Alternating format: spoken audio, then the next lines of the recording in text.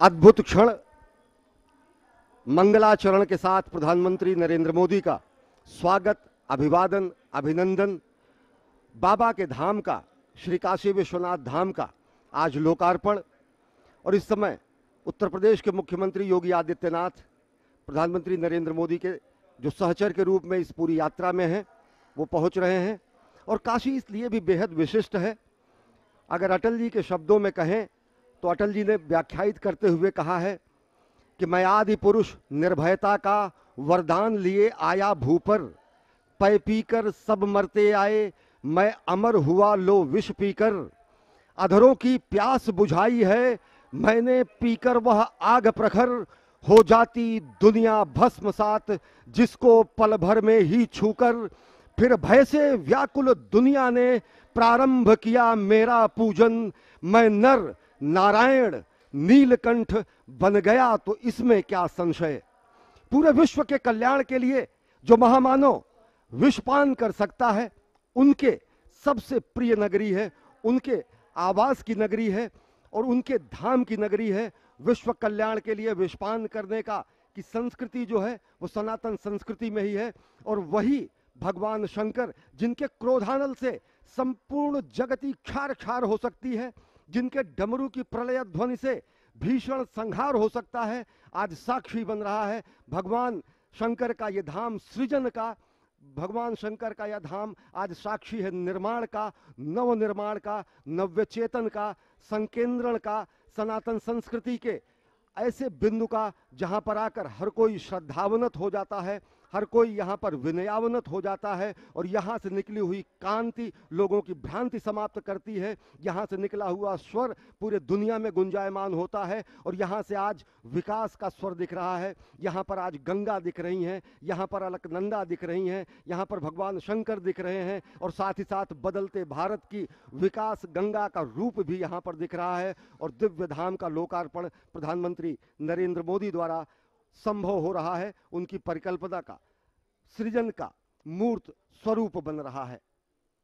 The beauty and the grandeur of Shri Kashi Vishwanath Dham is imaginable everything has been put in place to make it unique grand and remarkable few seconds ago we saw that on the walls of the Dham there are depictions of episodes from Indian mythology and Puranas It also tells the glorious history of the city and the temple to inform the present as well as the future generation about the glorious cultural, spiritual, and historical richness of India. Everything has been put in place to make it unique, grand, and remarkable. There are various kinds of valuable stones that have been brought from different places to decorate and deck the premise of Kashi Vishwanath Dham. Sandstones, red sandstones, Baleshwar stones, Makrana marbles, and Kota granites have been used in building the structure and decorating it. ये जो आप दृश्य इस वक्त देख रहे हैं वो वास्तव में अगर मैं कह पाऊं और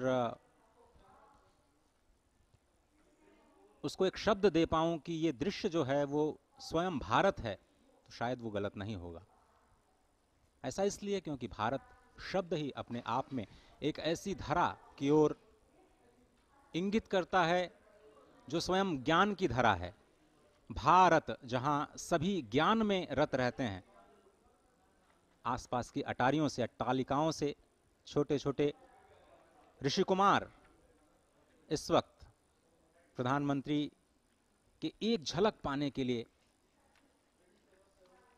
उत्सुक भारत माता की तस्वीर, अहिल्याबाई होलकर की मूर्ति, बगल में ही आदिशंकर की मूर्ति। ये सब प्रतीक भले ही हों, लेकिन ये प्रतीक आपको एक निश्चित लक्ष्य की ओर ले जाते हैं। वो लक्ष्य इस वक्त आपकी स्क्रीन पर, वो स्वयंभू लिंग जिसके शिखर दर्शन करने मात्र से आपको लिंग के दर्शन का फल प्राप्त होता है। अगर आप स्वयं धाम में नहीं पहुँच पाए तो कहते हैं अगर आप केवल मंदिर का शिखर दर्शन ही कर लें तो आपको संपूर्ण फल बाबा विश्वनाथ के दर्शन का मिलेगा। ऐसा मैं काशी खंड स्कंद पुराण के में वर्णित उन श्लोकों के आधार पर निश्चित रूप से कह सकता हूँ कि आप जितने लोग भी इस वक्त इस भव्य दृश्य का अवलोकन कर रहे हैं, दर्शन कर रहे हैं, आप सभी को भगवान श्री विश्वेश्वर के दर्शन का फल प्राप्त हो रहा है। और ये तपस्या की भूमि, ये समर्पण की भूमि, ये त्याग की भूमि, जहाँ पर मनुष्य नहीं, जितने भी जंतु हैं, जितने भी जीव हैं, जितने भी जंगम प्राणी हैं, यहाँ पर आकर के कुछ भी त्याग करते हैं, वो सब कुछ मोक्षदायिनी हो जाता है। और इसीलिए इस नए कलेवर में ये जो नवनिर्माण हुआ है उसके साक्षी बनते हुए सभी लोग एक स्वर में ये कहते हैं। इस वक्त कहते हुए सुनाई दे रहे हैं एक दूसरे से इस वक्त आप देख सकते हैं क्षण है। ललिता घाट की जहाँ प्रधानमंत्री नरेंद्र मोदी आस्था की डुबकी को लगाने के लिए माँ गंगा के अंदर जा रहे हैं। निश्चित तौर से ये तस्वीरें अपने आप में बेहद ऐतिहासिक और वही एक आस्था की डुबकी क्योंकि ये मान्यता है किस प्रकार से माँ गंगा नदी में डुबकी लगाने के बाद बाबा विश्वनाथ के चरणों में गंगा जल को अर्पित किया जाता है? और यही उस पूरी आस्था का एक पड़ाव का एक बड़ा केंद्र होता है। खुद प्रधानमंत्री नरेंद्र मोदी आस्था की डुबकी लगाने के लिए माँ गंगा में मौजूद हैं। माँ गंगा को आत्मसात करना, उनके चरणों में जाना, श्री चरणों का आशीर्वाद लेना और ये एक पूरी विधि विधान का एक अपने आप में एक बड़ा संगम के तौर पर देखा जाता है। इससे पहले भी हमने देखा था जब प्रयागराज में महाकुंभ का आयोजन हुआ था, प्रधानमंत्री ने वहाँ पर भी आस्था की डुबकी का आनंद लिया था, वहाँ पे उसका आशीर्वाद दिया था और अब काशी विश्वनाथ के दरबार में वहाँ पे पहुँचने से पहले माँ गंगा में जाकर डुबकी लगाना, पूरी आस्था के साथ में, पूरे भक्ति के साथ में रीति रिवाज के साथ में, और यहाँ पर भगवान सूर्य को नमन करना और उनको नमन करते हुए जल अर्पित करना और साथ ही साथ वहाँ पे आप तस्वीरों में साफ़ तौर पे देख सकते हैं। प्रधानमंत्री की आस्था साफ़ तौर से झलकती है, वो एक विश्वास साफ़ तौर से झलकता है, जो यहाँ का विधि विधान है, उसको नमन करने का जो भाव है, वो साफ़ तौर पर झलकता है। और गंगा आज इस प्रकार से निर्मल हो चुकी है कि आप वहाँ पर डुबकी लगा सकते हैं। ये एक संदेश भी साफ़ तौर पर दिखाई पड़ता है और प्रधानमंत्री हाथों में कलश लिए हुए हैं। माँ गंगा को पुष्प अर्पित करते हुए उन्होंने डुबकी लगाई। इसके साथ वो स्वतः मंत्रोच्चार के माध्यम से अपने इस पूजा माध्यम को, भाव को दर्शाते हुए और निश्चित तौर से भगवान शिव, भगवान सूर्य को वो तर्पण करते हुए पुष्प अर्पित करते हुए और वहाँ पर वो उनके हाथ में जो कलश है निश्चित तौर से इसमें वो जल भरेंगे और बाबा को वो जल चढ़ाएँगे। क्योंकि ये एक मान्यता है, ये एक आस्था है और अपने आप में जब सूर्य को पुष्प अर्पित किए जाते हैं, रोली चंदन वंदन अर्पित किया जाता है उन पे जल अर्पित किया जाता है तो सूर्य की जो शक्ति है, सूर्य का जो तेज है, वो आप में समाहित होता है। निश्चित तौर से ये सिर्फ़ धार्मिक मान्यता नहीं, बल्कि वैज्ञानिक आधार भी अपने आप में है। जगत गुरु की संकल्पना पर को साकार किया जा सके, और अगर इन दृश्यों को देखें तो अटल जी ने कहा है आज सिंधु में ज्वार उठा है, लेकिन यहाँ कहना पड़ेगा कि आज गंग में ज्वार उठा है, नगपति फिर ललकार उठा है, कुरुक्षेत्र के कण कण से फिर पांचजन्य हुंकार उठा है शत शत आघातों को सहकर जीवित हिंदुस्तान हमारा, जग के मस्तक पर रोली सा शोभित हिंदुस्तान हमारा। दीप बुझे पश्चिमी गगन के, जब व्याप्त हुआ बर्बर अधियारा किंतु चीर कर तम की छाती, चमका हिंदुस्तान हमारा। माँ गंगा की गोद में अवगाहन करते हुए, माँ गंगा की गोद में स्नान करते हुए, माँ गंगा की गोद में इस समय जलार्पण करते हुए, समूचे देश की ओर से अनेक हुतात्माओं को, शहीदों को तर्पण करते हुए, समूचे गंगा में भगवान विश्वनाथ के धाम का परिभ्रमण करते हुए, इस समय प्रधानमंत्री नरेंद्र मोदी साधनारत हैं। एक कर्मयोगी साधनारत हैं। और ये तर्पण की स्थिति है अनेक शहीदों को, अनेक हुतात्माओं को, अनेक महामानवों को, जिन्होंने सनातन संस्कृति, भारत की एकता और अखंडता, भारत की भौगोलिक विस्तार, भारत की सुरक्षा, भारत की संरक्षा, भारतीयता के संरक्षण, आध्यात्मिकता के पुष्पन और पल्लवन के लिए अपना सर्वस्व होम कर दिया। तो गंगा स्नान के बाद इस समय पूजन, गंगा में अवगाहन गंगा की गोद में अवगाहन, गंगा की गोद में जल जल, जलाभिषेक करना और यहाँ से जल लेकर शंकर जी को चढ़ाना, वो संभव हो सका है। और ये अद्भुत दृश्य प्रधानमंत्री नरेंद्र मोदी इस समय जलार्पण कर रहे हैं। कोटि कोटि भारतीयों की ओर से अनेक हुतात्माओं को, जिन्होंने संपूर्ण राष्ट्र के निर्माण में अपने जीवन का क्षण क्षण और शरीर का कण कण सर्वस्व समर्पित कर दिया। It is indeed a historic moment, and we are fortunate to witness this day. In the visuals, we can see our Honorable Prime Minister taking holy dip in holy river Ganges and offering his prayer to Ma Ganga and following the spiritual rituals before reaching the, the shrine of Baba Vishwanath.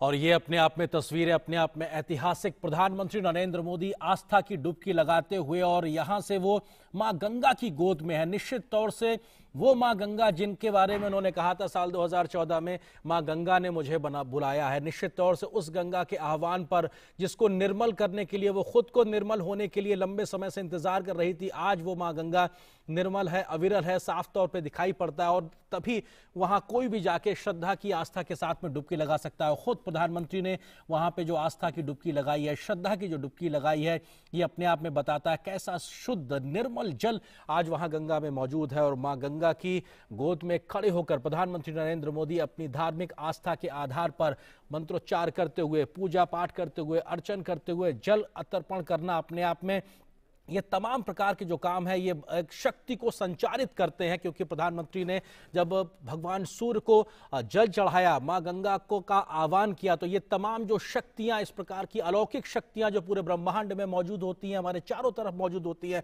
वो कहीं ना कहीं हमारे अंदर आत्मसात होती हैं इस प्रकार के तमाम कार्यों से और निश्चित तौर से इस प्रकार के कार्यों से जब देश के प्रधान सेवक में शक्ति का संचार होता है तो उससे पूरे राष्ट्र का भला होता है, उसके राष्ट्र का हित साधता है निश्चित तौर से ये ये तमाम जो क्रियाकलाप, ये जो कार्य योजनाएँ जो दिखाई पड़ रही हैं, उसमें इन सब चीज़ों का एक बड़ा महत्व है। भगवान शिव का आह्वान करना, भगवान सूर्यदेव का आह्वान करना, माँ गंगा की आरती करना और हाथ में इस वक्त प्रधानमंत्री के माला और उसको वो कहीं ना कहीं अर्पण करते हुए। हर रूपाम सेन्दुकोटिरचूडां कलितसितदुकूलां जाह्नवीतां नमामि। माँ गंगा श्वेत मकर, जिसे हम मगरमच्छ के रूप में जानते हैं, उस पर विराजती हैं। वो शुभ्र वर्ण वाली हैं, तीन नेत्रों वाली हैं, क्योंकि भगवान शिव का सानिध्य जिसे प्राप्त हो जाता है, वो सभी त्रिनेत्र हो जाते हैं। ब्रह्म का नेत्र चक्षु खुल जाता है। स्वयं माँ गंगा के भी तीन नेत्र हैं। उनके दो हाथों में भरे हुए कलश हैं, और दो हाथों में वो सुंदर कमल धारण किए हुए हैं। भक्तों के लिए परम इष्ट हैं। वो स्वयं ब्रह्मा का रूप हैं, विष्णु का रूप हैं, भगवान शिव का रूप हैं। यानी तीनों का रूप, तीनों के कार्य करने वाली, मस्तक पर सुशोभित चंद्र जटित मुकुट वाली और सुंदर श्वेत वस्त्रों से विभूषित माँ गंगा को मैं प्रणाम करता हूँ। ये माँ गंगा का आध्यात्मिक स्वरूप, जिसमें आप स्नान करते हुए माँ की उस छवि का दर्शन करते हैं। उसके बाद देव नदी श्री गंगा, जो ब्रह्मांडम खंडयंतीम हर्षिरस जटावल्लिमुल्लासयंतीम स्वरलोकादापतंतीम कनक गुहगंड शैलास्खलंतीम क्षोणी पृष्ठे लुठंतीम दुरित चय चमूर निर्भरई भर्सयंतीम पायोधीम पूरयंतीम सुरनगर सरित पावनीम नह पुनातु। जो ब्रह्मांड का भेदन करके निकलती हैं महादेव जी की जटा लता को उल्लसित करने वाली स्वर्ग लोक से गिरने वाली सुमेरु की गुफा और पर्वतमाला से अवतरित होने वाली, पृथ्वी पर विहार करने वाली, पाप समूहों की सेना को कड़ी फटकार देने वाली, समुद्र को भरने वाली और देवपुरी की पवित्र नदी गंगा हमें पवित्र करें।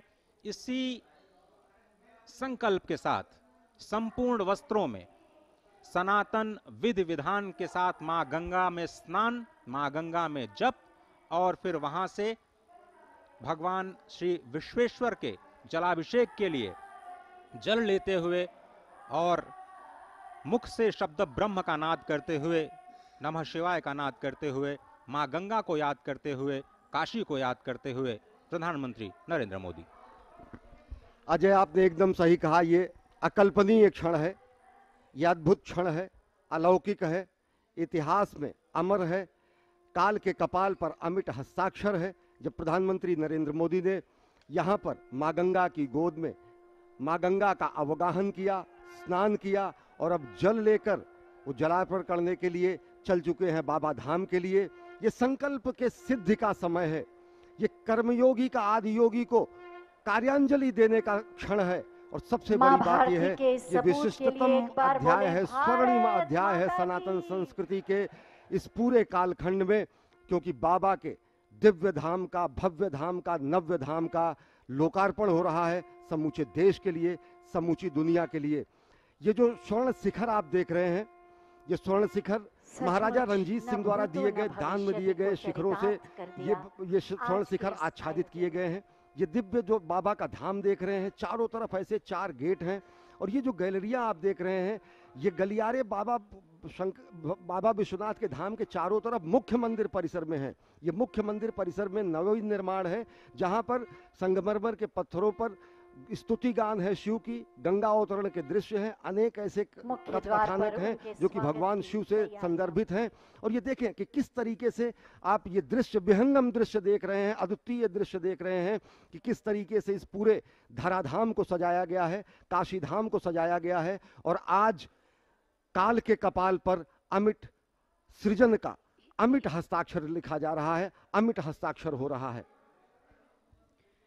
गोस्वामी तुलसीदास जी इन बाल कांड राइट्स महामंत्र जोई जपत महेशु, काशी मुक्त हेतु उपदेशु। With great wisdom and spirit honourable prime minister of India Mister Narendra Modi after taking the holy dip in the sacred river Ganges, now heads to और ये तस्वीरें एक बार फिर आप लगातार वाराणसी से देख रहे हैं। बाबा विश्वनाथ धाम का वो एक विहंगम दृश्य जो अपने आप में बताता है कैसे ध्वज पताका लगातार फहरा रही है यहाँ पर इस धाम में और ये बताती है कैसे सनातन समय से हिंदू धार्मिक मान्यताओं को आज भी उस ऊंचाइयों तक ले जाने का काम काशी विश्वनाथ में हो रहा है। ये एक साधना स्थली है, साधकों की स्थली है और ये विहंगम दृश्य इस बात की गवाही देता है, इस बात को पुनर्स्थापित करता है कि ये जो साधना है, ये निरंतर है और ये आज भी, कल भी चल रही थी, आज भी है और आगे भी चलती रहेगी और उसी साधना का एक महत्वपूर्ण पड़ाव के तहत एक हिस्सा बनने के लिए आज जो तमाम लोग जुटे हैं खुद प्रधानमंत्री नरेंद्र मोदी भी उस साधना का एक हिस्सा है। अब से कुछ देर पहले ललिता घाट पर उन्होंने माँ गंगा की गोद में जाकर एक पवित्र डुबकी लगाई, उन्होंने आस्था की डुबकी लगाई और उसके बाद में वहाँ से जल लेकर वो निकले हैं।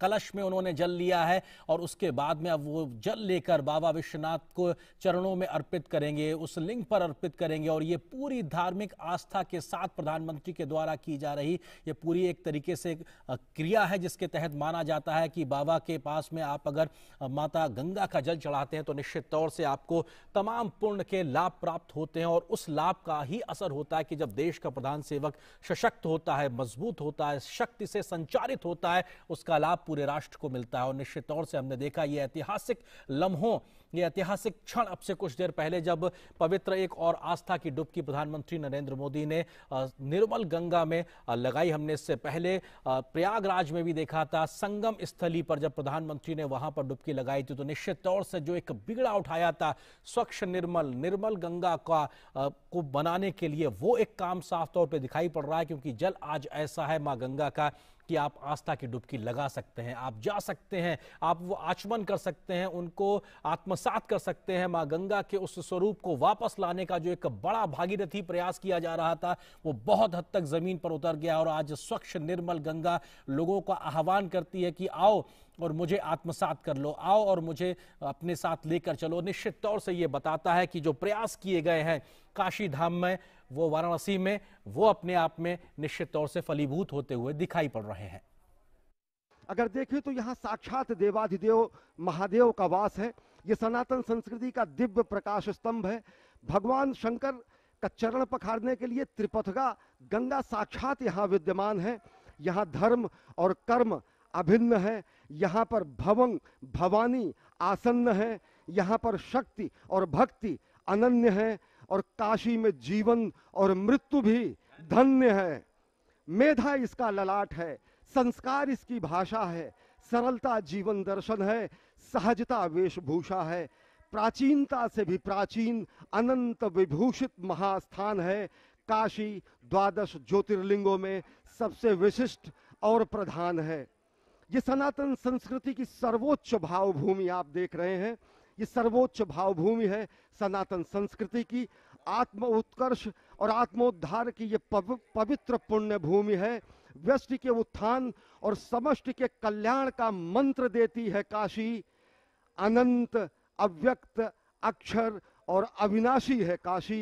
ये विद्युत अद्भुत विहंगम दृश्य काशी की महिमा को वर्णित करने के लिए शब्द भी कम पड़ सकते हैं, ये देख रहे हैं, और ये संकल्पना मूर्त रूप साकार हुई है। स्वप्न दृष्टा, प्रधानमंत्री नरेंद्र मोदी के संकल्प से सिद्धि का ये प्रमाण है। बाबा विश्वनाथ के धाम का आज लोकार्पण हो रहा है देश के लिए और विश्व के लिए। अजय। आरती जी ने एक ज़िक्र किया था अश्विनी जी तुलसीदास जी के उस दोहे का, जिसमें वो कहते हैं कि जो भगवान शिव हैं, वहाँ पर तारक ब्रह्म का उपदेश करते हैं। यहाँ जो कोई भी मृत्यु को प्राप्त होता है, उस नाम का उपदेश करते हैं, जो आपको तमाम जीवन मरण के चक्र से विनुर्मुक्त कर देता है। और इसीलिए इस क्षेत्र को अभिमुक्त क्षेत्र कहा जाता है। भगवान शंकर ने स्वयं इस क्षेत्र को आनंदवन का नाम दिया। भगवान पिनाकी शंकर ने इसको आनंद इसलिए किया, कहा क्योंकि ये जो काशी क्षेत्र है, वो अपने आप में मोक्ष स्वरूप ही है। बहुत सारे लोग ये कहते हैं कि वृंदावन जैसे धाम में रहने वाले लोग कहते हैं कि हमें तो मुक्ति नहीं चाहिए, हमें मोक्ष नहीं चाहिए, हमें तो भक्ति चाहिए। बहुत ही स्पष्ट तौर पर ये वर्णित है काशी खंड में कि भगवान शिव केवल मोक्ष नहीं देते, सब कुछ देते हैं। जो मोक्ष चाहता है, उसे वो मोक्ष देते हैं। जो मोक्ष नहीं चाहता उसे वो इष्ट देते हैं। अपने इष्ट की प्राप्ति, अपने लक्ष्य की प्राप्ति और मोक्ष की प्राप्ति, जो कुछ भी अगर आप चाहें, आप इस आनंद वन में प्राप्त कर सकते हैं, जिसे स्वयं भगवान पिनाकी ने इसे अपना नाम दिया। इस पूरे वन में जितने भी शिवलिंग हैं, यहाँ तक कि जितने भी कंकड़ हैं, उसको शिव स्वरूप कहा गया है। क्योंकि जैसा हमने शुरुआत में बताया कि ये पूरा का पूरा जो काशी खंड है ये पूरा का पूरा काशी खंड इस पृथ्वी के भूभाग से अलग है क्योंकि भगवान शिव और उनकी शक्ति शिवा।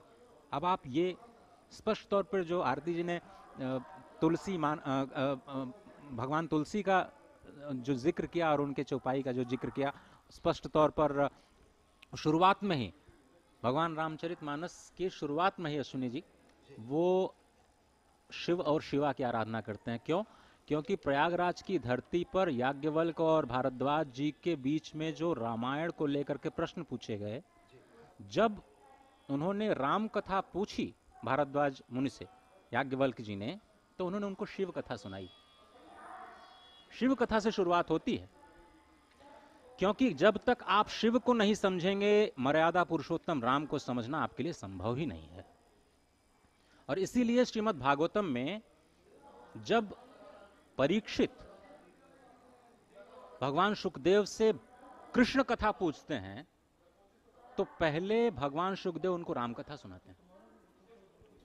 जब तक आप राम को नहीं समझेंगे, जब तक आप राम की मर्यादा का चश्मा नहीं लगाएँगे, आपको योगेश्वर कृष्ण समझ में आ ही नहीं सकते।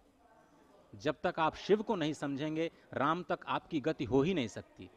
और उसी तारक ब्रह्म, उसी शब्द जिसका उपदेश भगवान शिव यहाँ पर मरने वालों के कान में कहते हैं, वो शब्द ही है राम या फिर प्रणव, ओम।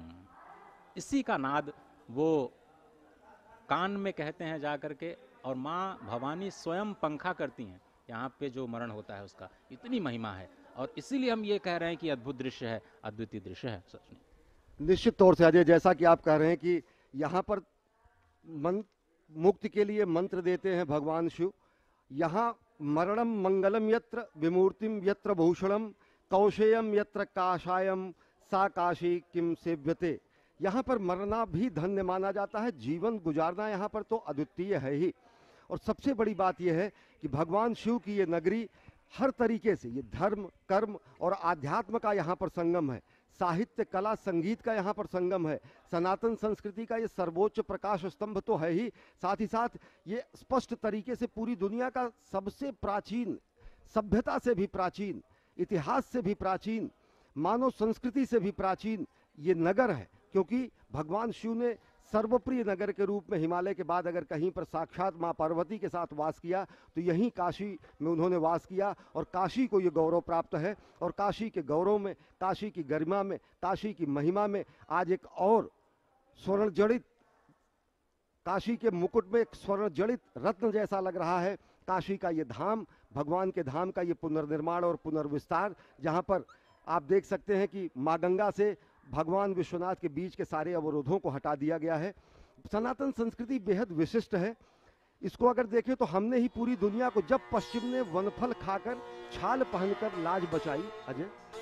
जब पश्चिम ने वनफल खाकर छाल पहनकर लाज बचाई, तब भारत से सामगान का स्वार्गिक स्वर था दिया सुनाई। हमने सामगान किया तब जब पश्चिम की पूरी सभ्यता केवल वन फल खाकर छाल पहनकर अपनी लाज बचाती थी, वन और कंदराओं में रहती थी, सभ्यता के लिए उसने नगर नहीं बसाए थे, तब भारत के इन्हीं तटों पर, गंगा के इन्हीं तटों पर वेद की ऋचाओं का, को लिखा गया सामगान का ध्वन यहाँ से पूरी दुनिया ने सुना। और इसी को अगर कहा जाए तो स्पष्ट है कि मैं अखिल विश्व का गुरु महान देता विद्या का अमरदान। मैंने दिखलाया मुक्ति मार्ग, मैंने सिखलाया ब्रह्म ज्ञान। मेरे वेदों का ज्ञान अमर, मेरे वेदों की ज्योति प्रखर। मानव के मन का अंधकार क्या कभी सामने सका ठहर? मेरे स्वर नभ में गहर गहर, सागर के जल में छहर छहर। इस कोने से, उस कोने को कर सकता जगती सौरभ में। ये सनातन संस्कृति है जिसने विश्व को सभ्यता का संस्कृति का संस्कार का धर्म का आचार का व्यवहार का मर्यादा का मंत्र दिया और उन्हीं मंत्रों पर पूरी दुनिया आरूढ़ है। हम ही हम ही ने उद्घोष किया वसुधैव कुटुंबकम। अजय आरती। बिल्कुल सही कहा अश्विनी आपने। और अभी जब मैं विश्व, विश्वनाथ बाबा विश्वनाथ की मंदिर उनके धाम और उनके प्रांगण का अवलोकन कर रही थी तो मेरे मन में विचार आ रहा था कि संभवतः पहली बार ये अवसर मुझे मिला है कि पूरे मंदिर परिसर की संपूर्णता में मुझे इस प्रकार से उसको मैं देख सकूँ, उसका दर्शन कर सकूँ। और जो पिछले वर्षों में कुछ दशकों में आसपास जिस तरह का जो हम कंजेशन कहें जो भीड़ भाड़ और जो अतिक्रमण की स्थिति थी उससे कहीं ना कहीं बाबा विश्वनाथ का जो मंदिर है वो हमारी नज़रों से ओझल होता जा रहा था। तो निसंदेह ये एक अद्भुत कार्य है इस दिशा में। और मुझे मंदिर को देखते हुए ये भी ख्याल आया कि मैं ज़िक्र करूँ कि मंदिर के भीतर एक कूप है जिसे ज्ञान वापी कहते हैं और उसे विजडम ऑफ़ वेल वो ज्ञान का कूप है।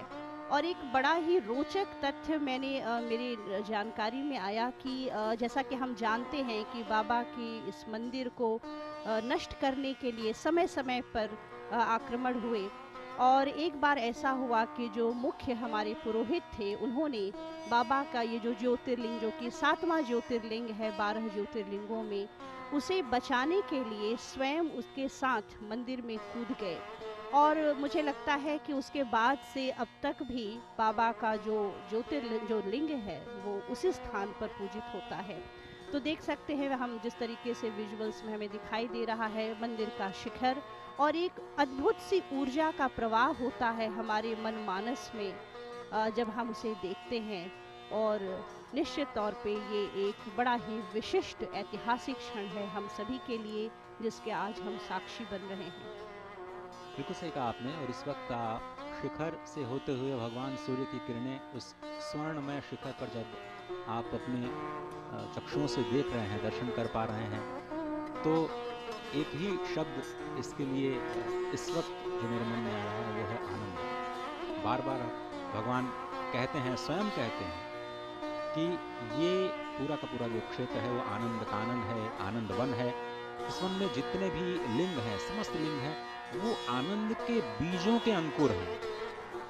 ये जो शिवलिंग हमें दिखाई देते हैं, जिसका हम दर्शन करते हैं पूरी काशी में असंख्य शिवलिंग, यहाँ के कंकड़ कंकड़। हम बार बार कह रहे हैं कि शंकर का ही स्वरूप है।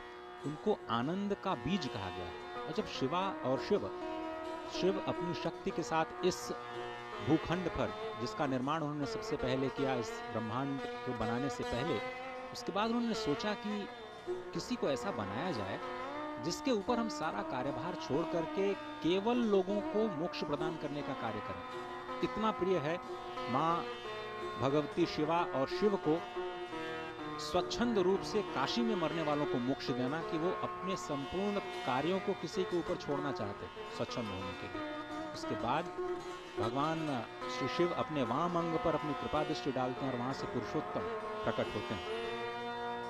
उन्हीं पुरुषोत्तम भगवान श्री नारायण ने, आप जो दृश्य देख रहे थे, ललिता घाट, उसके ठीक साथ में मणिकर्णिका घाट, जो कि बाद में मणिकर्णिका घाट पड़ा। जब भगवान ने नारायण को उत्पन्न किया तो भगवान श्रीहरि ने अपने चक्र से वहाँ पर पुष्करणी या कि जिसको हम पोखरी कहते हैं। और असंख्य पोखरियाँ इस पूरे काशी खंड में विद्यमान है, पूरे काशी के क्षेत्र में। और पोखरी इतनी इतनी महत्व की है कि कोई भी यज्ञ बिना पोखरी के जल के संपूर्ण हो नहीं सकता, आप ये समझे। और स्वयं श्री हरि ने अपने चक्र से इस पुष्करणी का निर्माण किया। इसीलिए इसको चक्र पुष्करणी कहते हैं। और चक्र पुष्करणी के निर्माण के बाद उन्होंने स्वयं अपने अंग से जल को निर्गत किया और उस पोखरी को भर दिया, पुष्करणी को भर दिया। और उसी के तट पर उन्होंने फिर भगवान शिव की पचास हज़ार वर्षों तक तपस्या की। शुरुआत आप देखिए। शुरुआत से ही जो हमें संकेत मानव जाति को मिलते हैं, स्पष्ट तौर पर ये मिलते हैं कि एक तो शिव और शिवा के रूप में आपको जगत के कल्याण के लिए अपने आप को खपा देना है। और उसके बाद जब भगवान श्री नारायण यहाँ पर उत्पन्न हुए तो सबसे पहला काम उन्होंने जो किया, वो है उग्र तपस्या। पचास हज़ार वर्षों तक इतनी भीषण भगवान श्री हरि नारायण ने तपस्या की कि भगवान शंकर का मस्तक हिल गया। और जब उन्होंने अपने ललाट को थोड़ा सा हिलाया तो कहते हैं कि वहाँ पर उनके एक कान का सर्प रूपी मणि गिर गया और इसीलिए जो पहले चक्र पुष्करणी पचास हज़ार वर्षों के पहले जो क्षेत्र चक्र पुष्करणी था, उसको बाद में मणिकर्णिका कहा जाने लगा क्योंकि भगवान के कान से, उस ललाट के स्वेदन से जो कर्णिका गिरी, उससे ये पूरा का पूरा जो क्षेत्र है वो मणिकर्णिका नाम से प्रसिद्ध हो गया। उसके बाद भगवान शिव बार बार विष्णु से कहते हैं कि मैं आपके ऊपर अत्यंत प्रसन्न हूँ। आप वरदान मांगिए। अब मैं उसी वरदान का आपको एक थोड़ा सा जो दृश्य है वो दिखाने की कोशिश करता हूँ। भगवान श्रीहर विष्णु ने फिर से जो वरदान मांगा वो देखिए, अपने लिए कुछ नहीं मांगा। संपूर्ण संसार के लिए, संपूर्ण सृष्टि के लिए मांगा, जिसका संदेश ही भारत, यानी ज्ञान में रत इस धरा से पूरे विश्व को जाता है, वसुधैव कुटुंबकम का जिसका ज़िक्र अश्विनी जी ने किया था। भगवान विष्णु कहते हैं कि जो कुछ भी जंतु संज्ञक है, सब कुछ काशी में मुक्ति लाभ करे।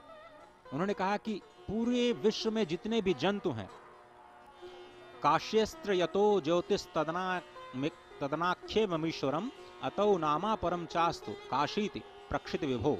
जो कुछ भी जस्त संज्ञक है प्रभु, भगवान शिव, वो सब कुछ काशी में मुक्ति लाभ करे।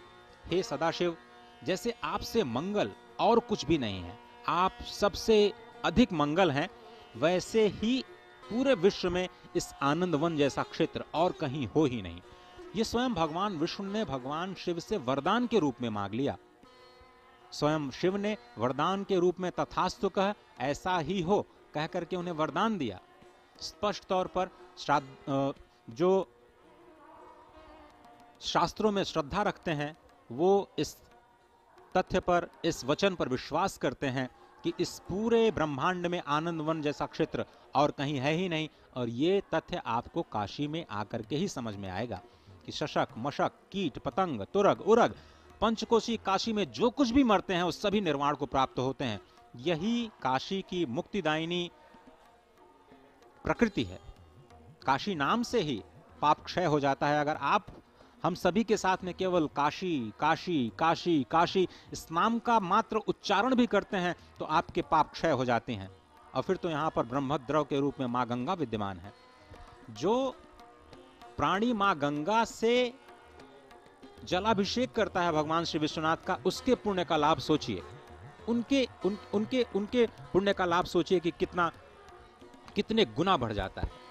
भगवान विष्णु ने फिर से वरदान स्वरूप मांगा कि जो काशीवासी सज्जनों के लिए ये काशी में रहना सत्य युग के समान हो जाए। अब आप समझें कि यहाँ पर इस वक्त हम भले ही कलयुग में निवास कर रहे हों, लेकिन भगवान श्री हरि विष्णु के वरदान के प्रभाव से जो सज्जन काशीवास करते हैं, वो सत्य युग वो सदा सत्ययुग में हो जाते हैं। यहाँ पर समय कभी भी दक्षिणायन नहीं होता है, माँ उत्तरायण है। यहाँ स्वयं काल उत्तरायण हो जाते हैं, क्योंकि कालों के भी महाकाल। भगवान श्री भैरव, कालों के भी महाकाल यहाँ के अधिपति हैं, यहाँ के कोतवाल हैं, जहाँ पर थोड़ी देर पहले, साक्षात महादेव, जहाँ पर थोड़ी देर पहले आपने इसी दूरदर्शन के माध्यम से आरती के दर्शन किए। प्रधानमंत्री नरेंद्र मोदी ने सबसे पहले वहीं से शुरुआत की, क्योंकि कहते हैं कि काशी में जो कोतवाल साहब हैं, उनसे पूछ के, पूछे बिना कोई काम होता नहीं है।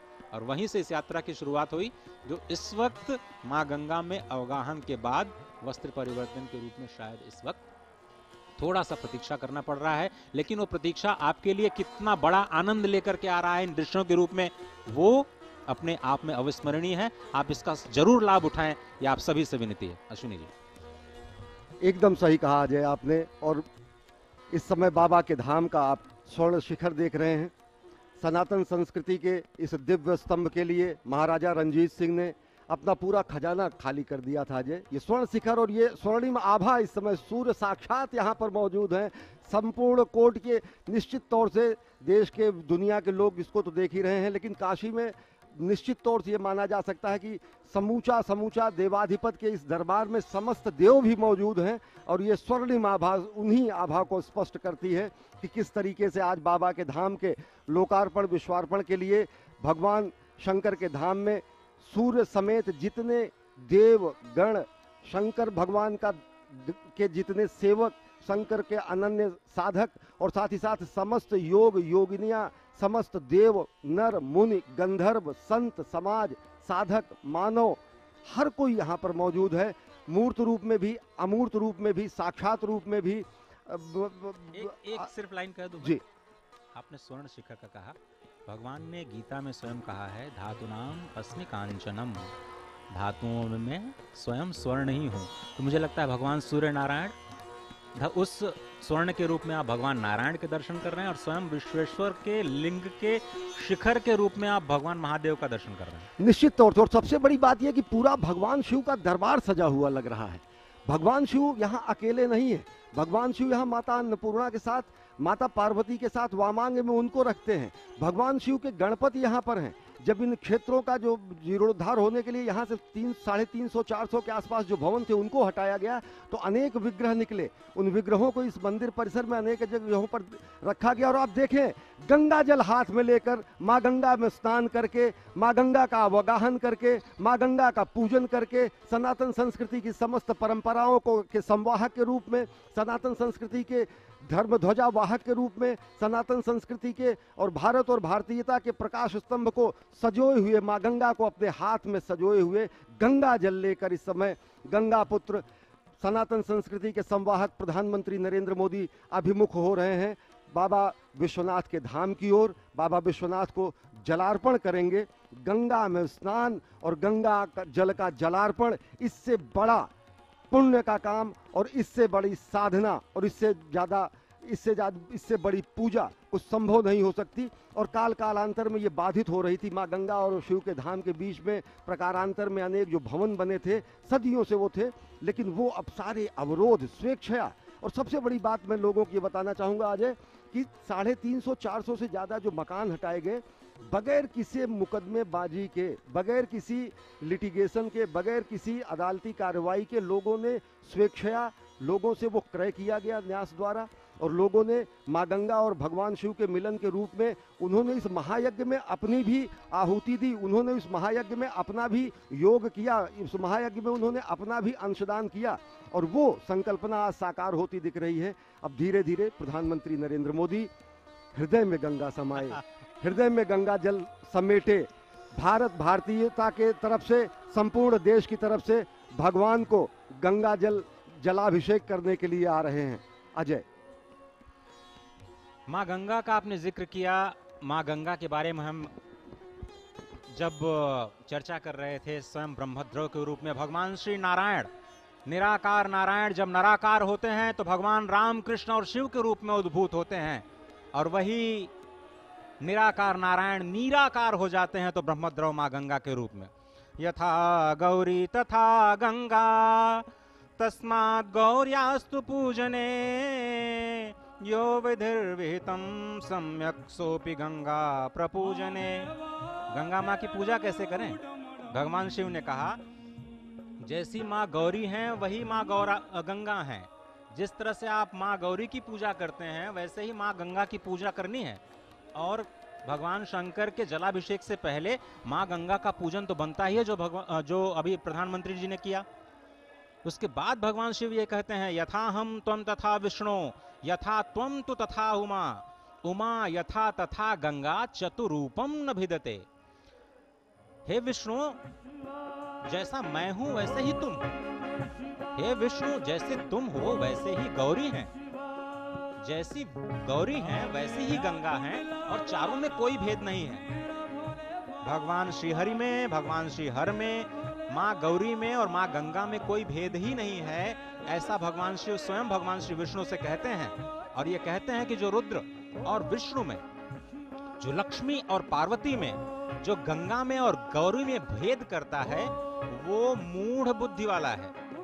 विष्णु रुद्रांतरे चैव श्री गौर्योंतरम तथा गंगा गौर्यांतरम चैव यो ब्रूते मूढ़धिस्तु सह और इसीलिए कहते हैं कि माँ गंगा रजत कलश में माँ गंगा को समेटे, अपने हाथ में लेके, अपने भगवान, अपने आराध्य, भगवान श्री चंद्रशेखर के मस्तक पर उस गंगा को समर्पित करने के लिए जो स्वयं भगवान श्री हरि नारायण के जब वामन अवतार में वो जब ब्रह्मा ब्रह्म के लोक में पहुँची, तब उनके पैर के नाखून से वही ब्रह्मदेव जो गंगा के रूप में अवतरित हुआ, जिसे भगवान श्री हरि ब्रह्मा ने कमंडल में रखा और उसके बाद, वो भागीरथ प्रयास के बाद माँ माँ गंगा भगवान शिव के शिखाओं में होती हुई फिर माँ भारत की धरा को पावन करती हैं पवित्र करती हैं और इन दृश्यों में आप भारत को देख सकते हैं। इन दृश्यों में भारत के संस्कार को देख सकते हैं।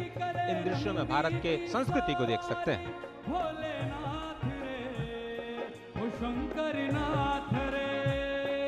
शिव भक्ति चला है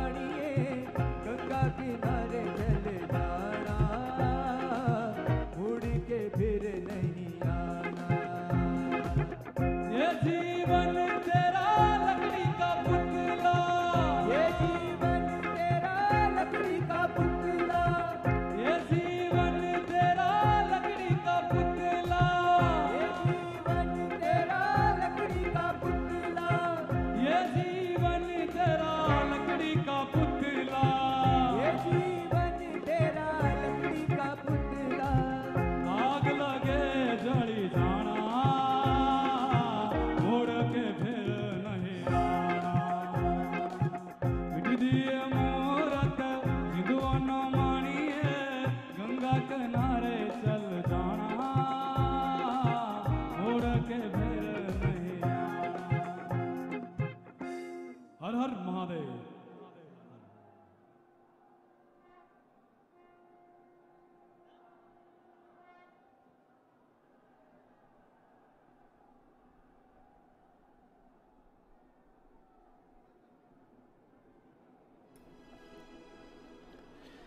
ये तस्वीरें आप काशी विश्वनाथ धाम की, जहाँ पर प्रधानमंत्री नरेंद्र मोदी नज़र आ रहे हैं, क्योंकि उन्होंने माँ गंगा में जाकर पवित्र आस्था की डुबकी लगाई।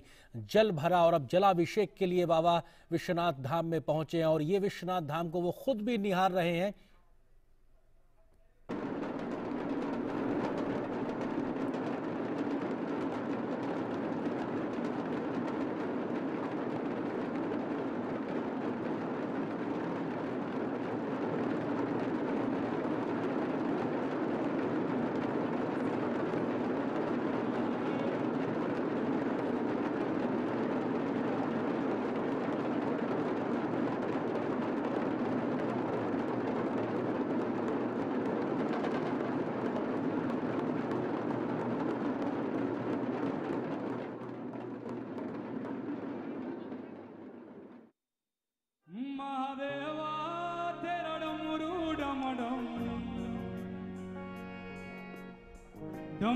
de dor.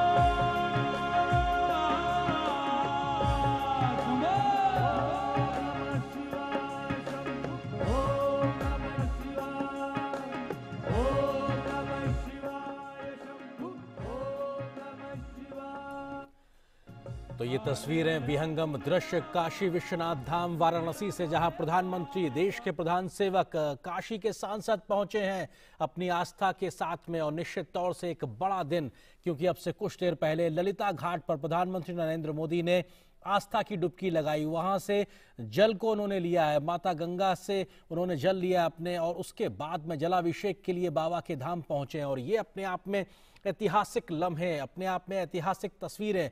और यहाँ पर तमाम जो पूजा अर्चना कर लिए मौजूद हैं, जो आचार्य लोग, उनके साथ में प्रधानमंत्री मौजूद हैं। पूरी आस्था के साथ में, यहाँ मंत्रोच्चार के साथ में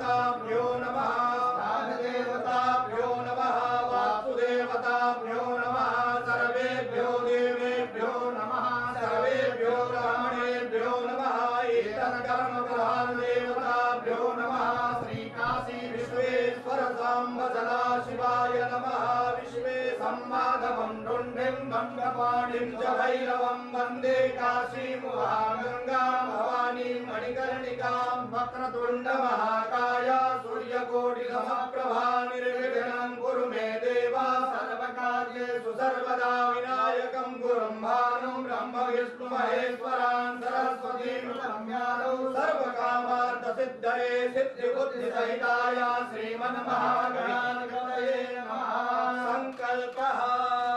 हस्ते जलाक्षतपुष्पद्रव्यं चादाय। सङ्कल्पः।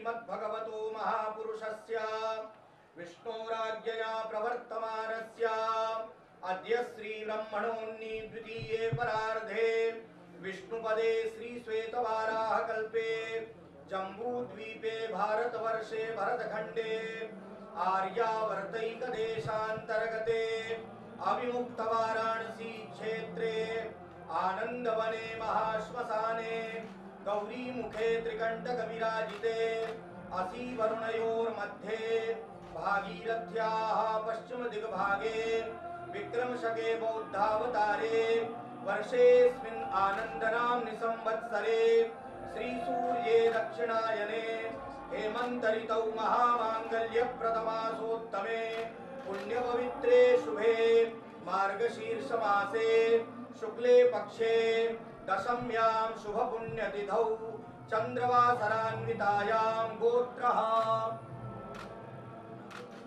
नामधेयो बोले आत्मनः, श्रुति, स्मृति पुराणोक्त वेदोक्त, शास्त्रोक्त, फल प्राप्त्यर्थम श्री विश्वेश्वर सांब सदाशिव कृपा प्रसाद द्वारा, देशेऽस्मिन् सुख शांति सौमनस्याभिवृद्ध्यर्थं भारतीयानां धर्मबुद्धि लाभार्थं समस्त संसारस्य प्राणिनां कल्याणार्थं कायिक, वाचिक, मानसिक, सांसर्गिक, पातक याताज्ञात दुरित क्षय द्वारा धर्मार्थ काम मोक्ष पुरुषार्थ, चतुष्टय सिद्ध्यर्थम श्री विश्वेश्वर सांब सदाशिव सुप्रसन्नार्थम विशेषतः श्री काशी विश्वनाथ, धाम लोकार्पण अवसरे अद्य यथाविधि भगवता श्री विश्वेश्वरस्य सांब सदाशिवस्य यथोपचारैः पूजनं करिष्ये। तत्रादौ निर्विघ्नता परिसमाप्त्यर्थं महागणपति स्मरणं च करिष्ये लम्बोदरं परमसुन्दरमेकदन्तं पीताम्बरं त्रिनयनं परमं पवित्रं शुद्धद्दिवाकरदिभोज्जलकान्तिकान्तं विघ्नेश्वरं सकलविघ्नहरं नमामि। त्वं वैष्णवी शक्तिरनन्तवीर्या विश्वस्य बीजं परमासि माया सम्मोहितं देवि समस्तमेतत्। त्वं वै प्रसन्ना भूरिमुक्तिहेतु। गणेशाम्बिकाभ्यां नमः। ध्याये नित्यं महेशं रजतगिरिभं चारुचन्द्रावदन्तं रत्नाकल्पोज्ज्वलाङ्गं परसुमृगबलाभीतिहस्तं प्रसन्नं पद्मासीनं समन्तास्फुटममरकणैर्व्याघ्रगित्यं वसानं विश्वाद्यं त्रिनेत्रमो नमस्ते रुद्रमन्यवौतो नमः बाहुभ्यामुदते नमः जाते रुद्रशिवा पापकाशिनी तया न सर्वा गिरिसन्ताभिजाकसे ध्यानार्थे रत्नसिंहासनार्थे बिल्वपत्रं समर्पयामि ॐ जामि भुङ्गिरिशन्तहस्ते विभगतवे शिवाङ्गिरिप्रतां कुरु, माहि, पुंसेः पुरुखं जगत शिवेन वचसा त्वा गिरिसाक्षा वदामसि यथा नः सर्वविजगदयत्मसुमना असत अजगोचदेवता प्रथमो, दैव्यो, विगग अहिञ्च सर्वाञ्जं भयं सर्वाच्च धान्यो धनचीः परा सुभा असौ जस्ताम्रो अरुणौ तव भ्रुः सुमङ्गलः। चैनगो रुद्र अभितो दिशुषिताः सहस्रसो वैघागुहेडयि एतानि पाद्यार्घ्यात्मनि हस्तानि अपुनरात्मनि जलं समर्पयामि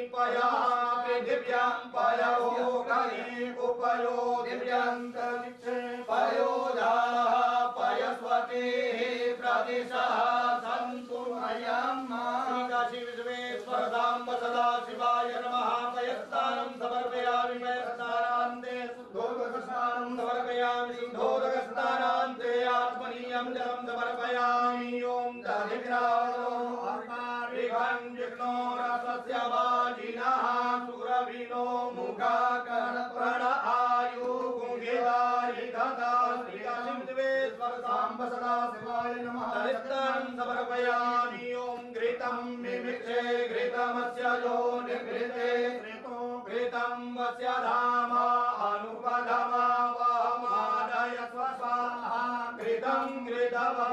घृतवक्षिहव्यं मा मधुपादारिताय ते मधुक्षरन्ति सिन्धवः। सन्तो खली मधुनतमुतो फसो। मधुमत्पार्थिवर्भूरजः मधुद्यौरस्तु नः पिता मधुमानो वनस्पतिर्मधुमाम् अस्तु सूर्यः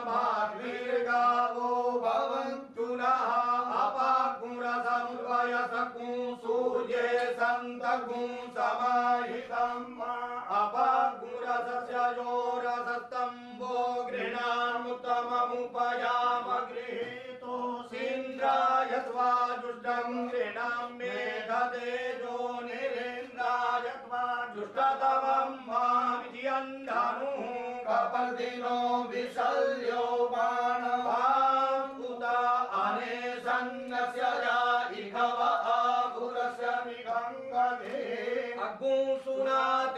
अग्मुसुः पृच्छतां परुखा परुः गन्धते सो ममवतु मदाय रसो अच्युतः।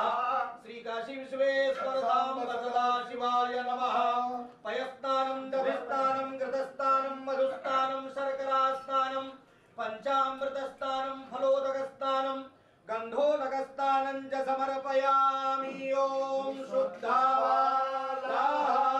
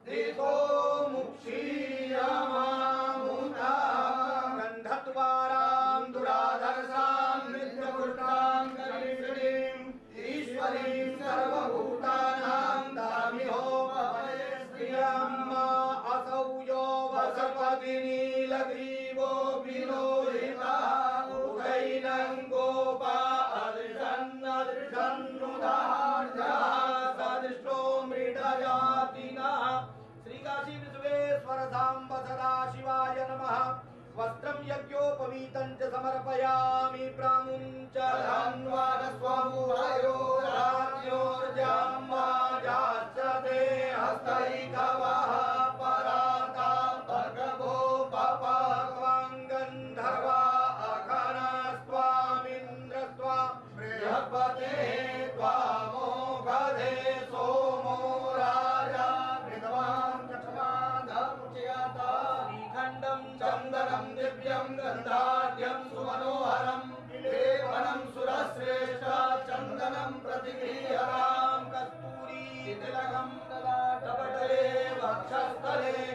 कौस्तुभं नासाग्रे परमौक्तिकं करतले वेणुकरे कङ्कणम् सर्वाङ्गे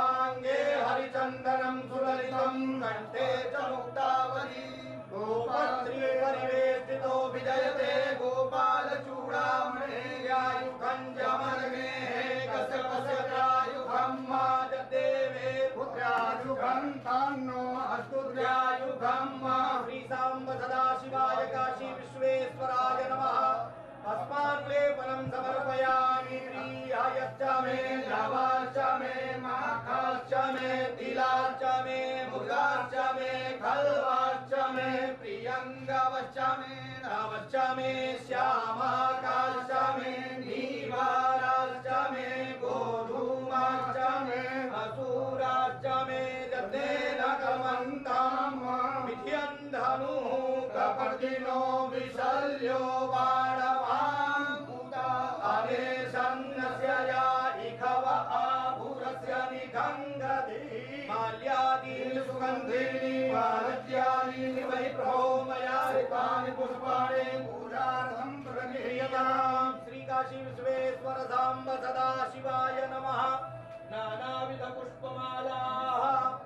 समर्पयामि मन्दारमालां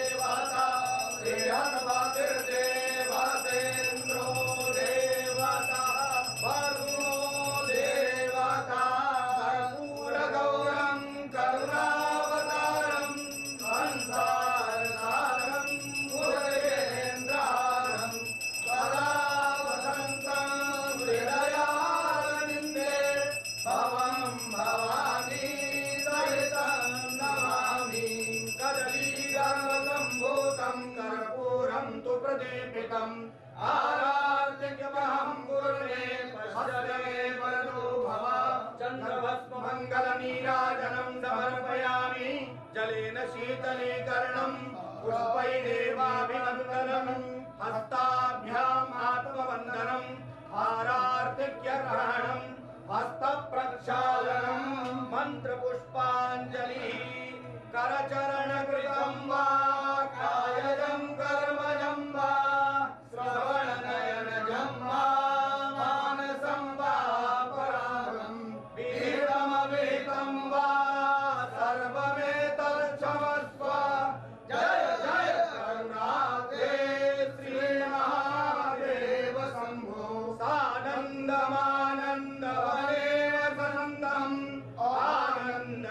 dum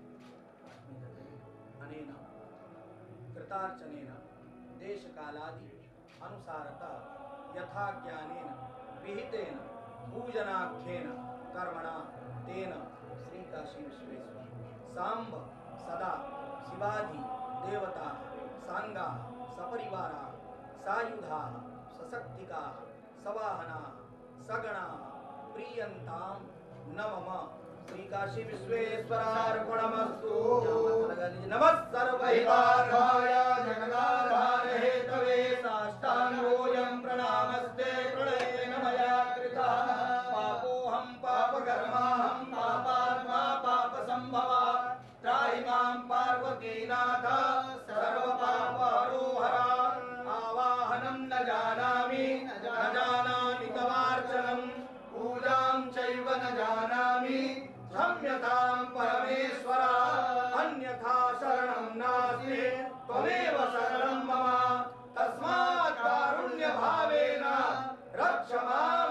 शङ्कर हर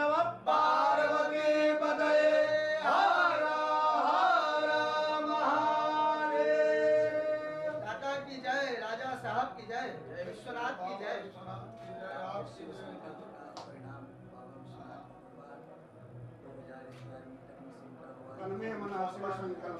भगवान विश्वनाथ भगवान महादेव करते हैं। कुछ महादेव भगवत कृपा से ही ये संभव हुआ लेकिन आपने इसका दुविधा उठाया। आपकी धर्म परायणता का सर्वोत्कृष्ट उदाहरण है श्री का बाबा के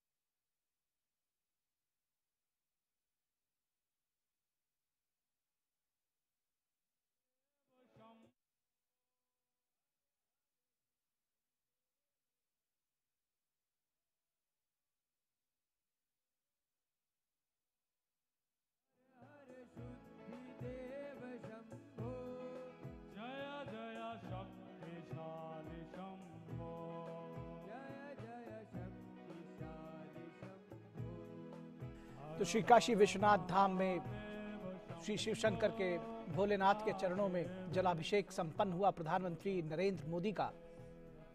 बेहद अलौकिक ये क्षण है। इस लिहाज से भी कि इस जीर्ण शीर्ण भगवान भोलेनाथ का कि इस मंदिर का, इस ज्योतिर्लिंग का जीर्णोद्धार हुआ है। और उसको आज लोकार्पित किया जाएगा। आम लोगों के लिए तमाम सनातनी भक्त पूरे विश्व में इसको लेकर प्रफुल्लित हैं, आनंदित हैं, उल्लसित हैं।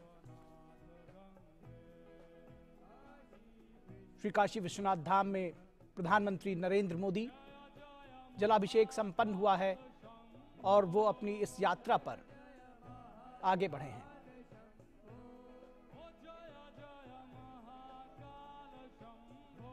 और यहाँ पर एक वृक्ष का रोपण करते हुए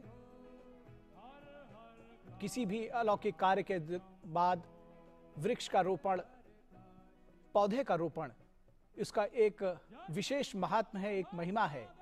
और प्रधानमंत्री नरेंद्र मोदी इस प्रांगण में इस वृक्ष का आरोपण करते हुए। पौधे रोपण कर रहे हैं और उसके बाद ये पौधारोपण अपने आप में इसका विशेष महात्म है। और श्री काशी विश्वनाथ धाम के श्री चरणों में पूजा अर्चना करने के बाद, जलाभिषेक करने के बाद ये पौधारोपण संपन्न हुआ है। आप देख सकते हैं ये विहंगम दृश्य किस तरह से ये मंदिर का अलौकिक रूप, किस तरह से निखर कर आया है इसका दिव्य और भव्य रूप इस मंदिर का। जिसने पहले कभी इस मंदिर के दर्शन किए होंगे, तमाम आस्थावान, सनातनी लोग इस, भगवान श्री भोलेनाथ के द्वादश ज्योतिर्लिंगों में से एक। अपने कर कमलों से किया और संपूर्ण विश्व को शांति का संदेश, पर्यावरण संरक्षण का संदेश, वृक्षारोपण के ज़रिए जीवनदायिनी प्राणवायु को उत्सर्जित करने वाली वनस्पति जिसे देवी के रूप में भी पूजित किया जाता है यहाँ के धर्माचार्य अपनी भेंट स्वरूप कुछ उपहार प्रधानमंत्री को प्रदान करते हुए और वो क्षण जिसके लिए देश भर से आए, तीन हज़ार से ज़्यादा संत और संपूर्ण भारत के साथ साथ विश्व प्रतीक्षा कर रहा है लोकार्पण की उन अद्भुत दृश्यों का साक्षी बनने के लिए। अश्विनी। विधिवत पूजा अर्चना के बाद श्री काशी विश्वनाथ धाम के लोकार्पण के लिए, नवनिर्माण, पुनर्विस्तार के लोकार्पण कार्यक्रम के लिए इस समय प्रधानमंत्री नरेंद्र मोदी अभिमुख हो चुके हैं। देखिए कितना विहंगम दृश्य है। इस तरीके से चार बड़े द्वार हैं। लोकार्पण हो चुका है, पदार्पण हो चुका है प्रधानमंत्री नरेंद्र मोदी का, जहाँ पर वो देश भर से आए हुए संतों से वो संवाद करेंगे। साथ ही साथ बेहद विशिष्ट ये क्षण है समूचे देश के लिए। क्योंकि इसी क्षण का इंतज़ार, इसी सांस्कृतिक पुनर्जागरण का, की आवश्यकता राष्ट्र को थी और सांस्कृतिक पुनर्जागरण के स्वरूप में इस समय ये दृश्य हैं। और आप देख रहे हैं कि ये जो श्रम श्रम साधक हैं, आदि योगी के जो जो श्रम साधक हैं, जिन्होंने इस महायज्ञ में अपने श्रम का दान किया है, जिन्होंने इस महायज्ञ में अपने पुरुषार्थ का दान किया है, जिनके अहरनिश प्रयासों से अनेक बार चुनौतियाँ आने के बाद भी देखिए पुष्पांजलि अर्पित कर रहे हैं इन कर्मयोगियों के ऊपर इन श्रमजीवियों के ऊपर इन श्रम साधकों इन श्रम साधकों के ऊपर अद्भुत क्षण समूचे राष्ट्र की ओर से पुष्पांजलि अर्पित कर रहे हैं। इनके कार्यों का अभिनंदन कर रहे हैं।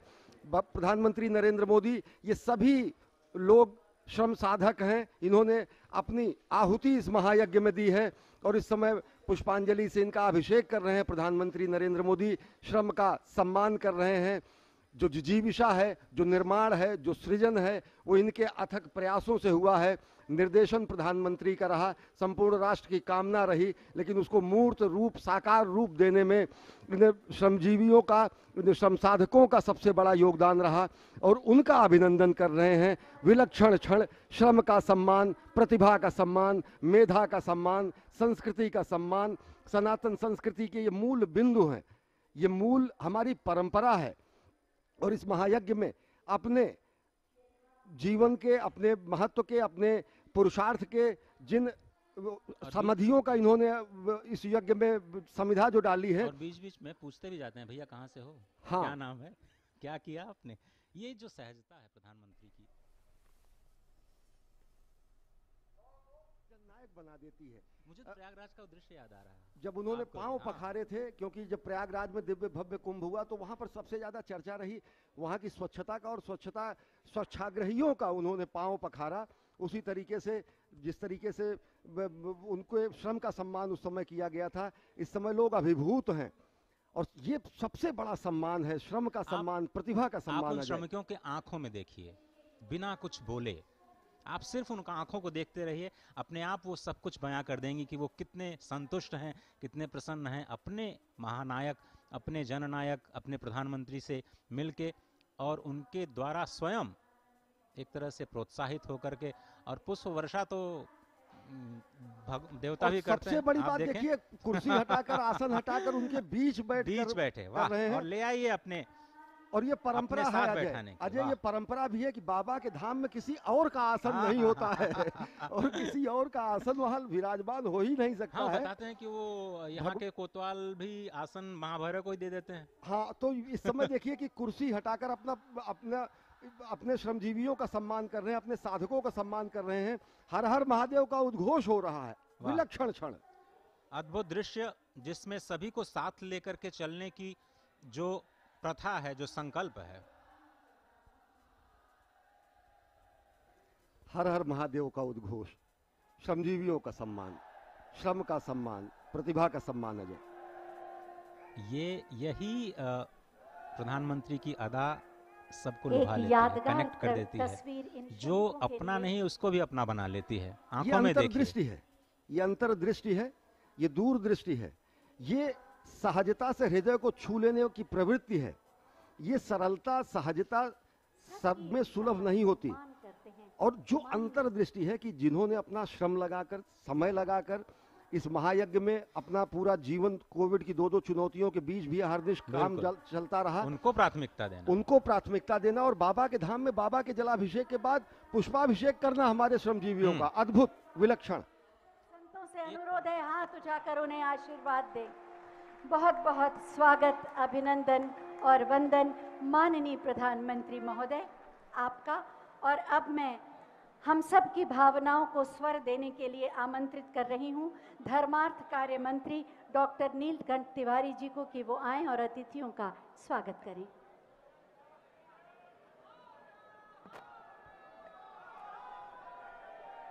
हर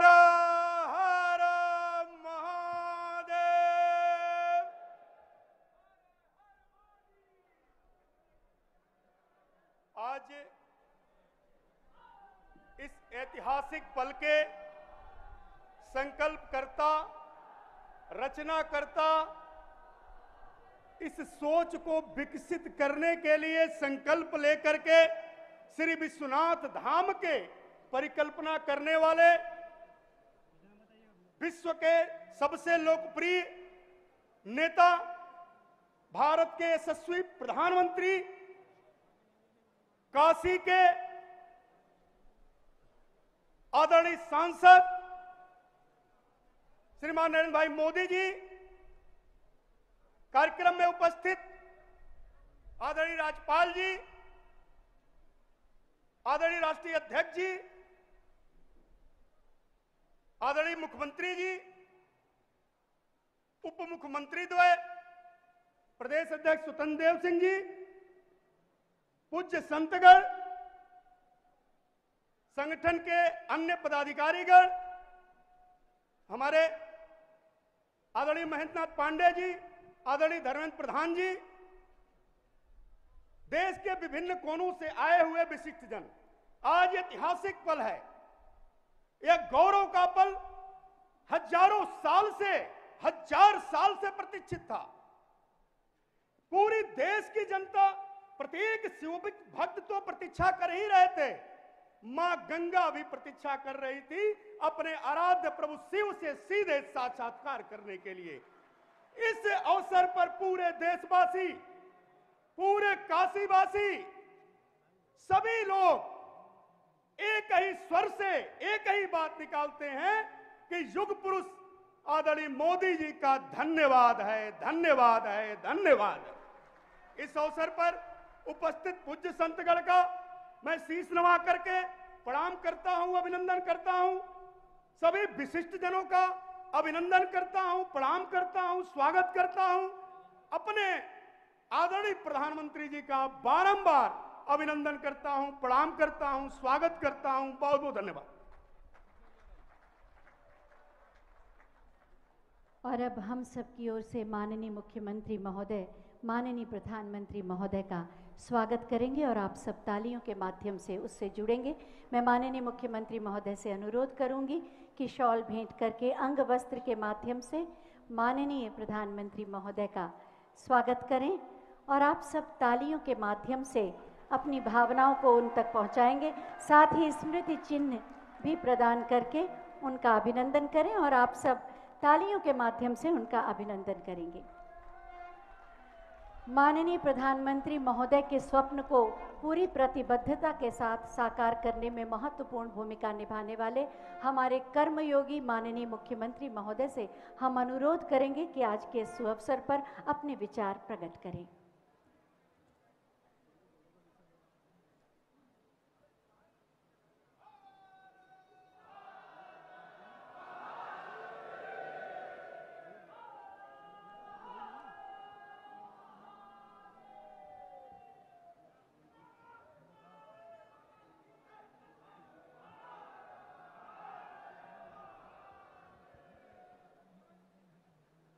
नमामि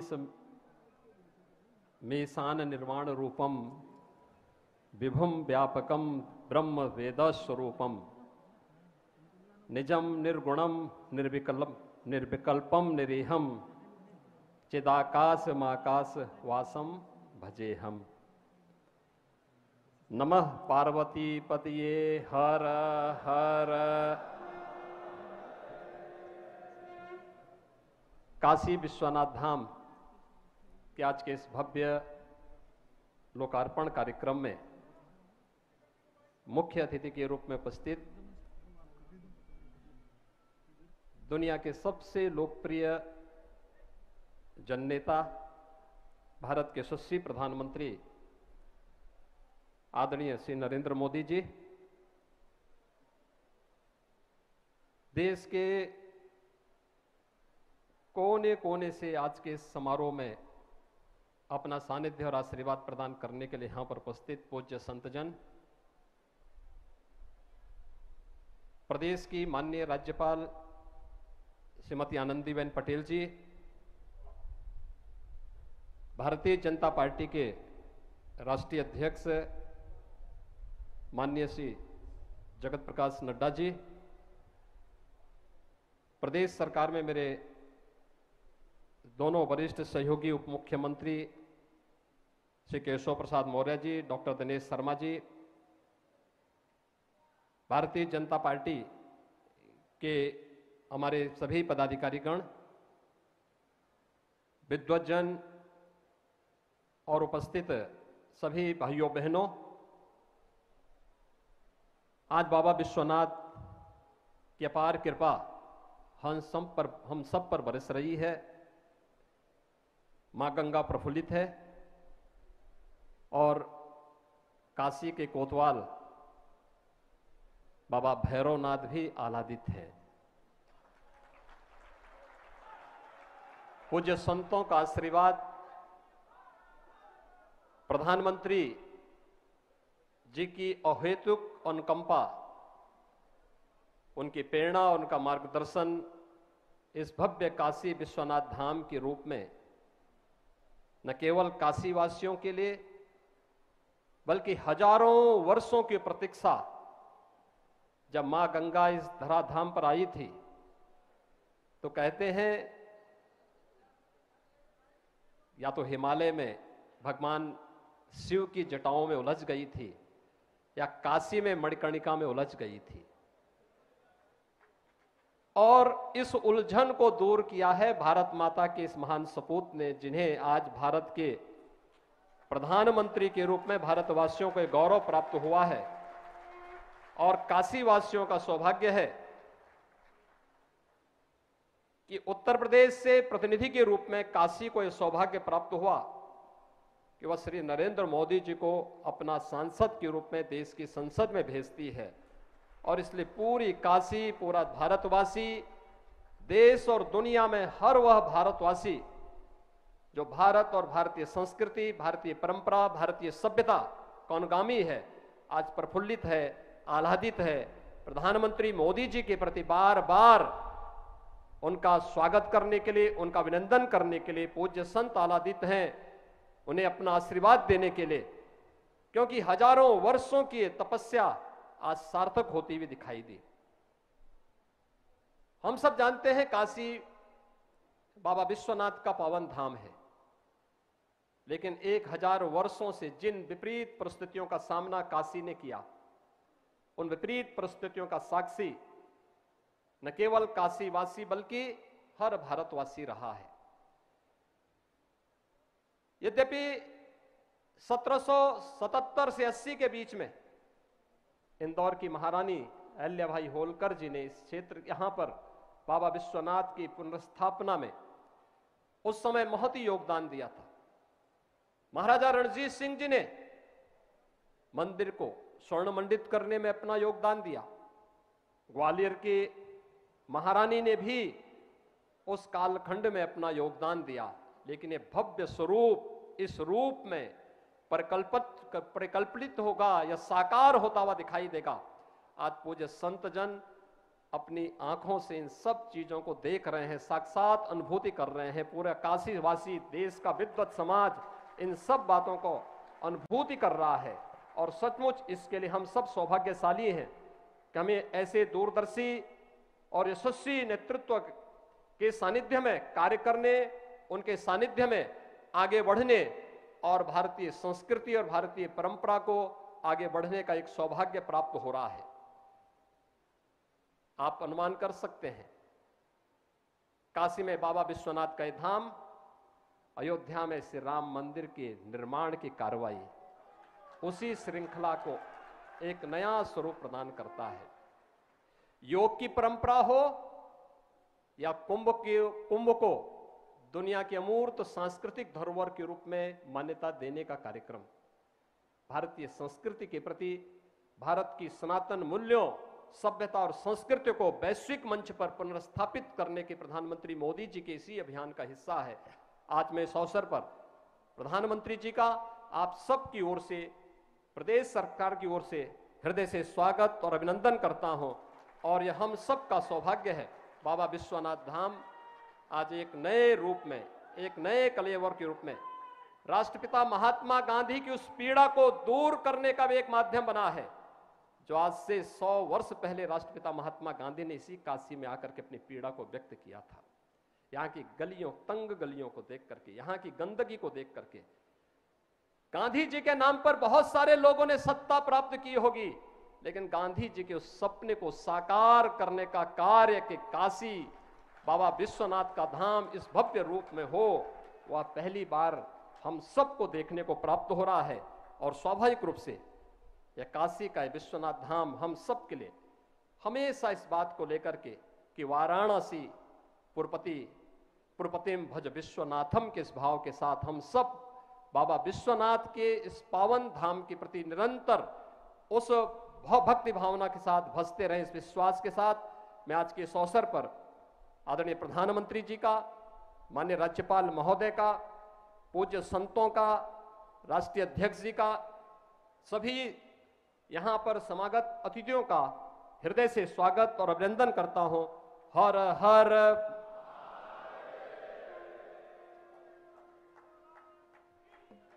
बहुत बहुत धन्यवाद, माननी। श्री काशी विश्वनाथ धाम कैसा है? इसी पर एक छोटी सी फ़िल्म बनाई गई है। आइए। देखते हैं।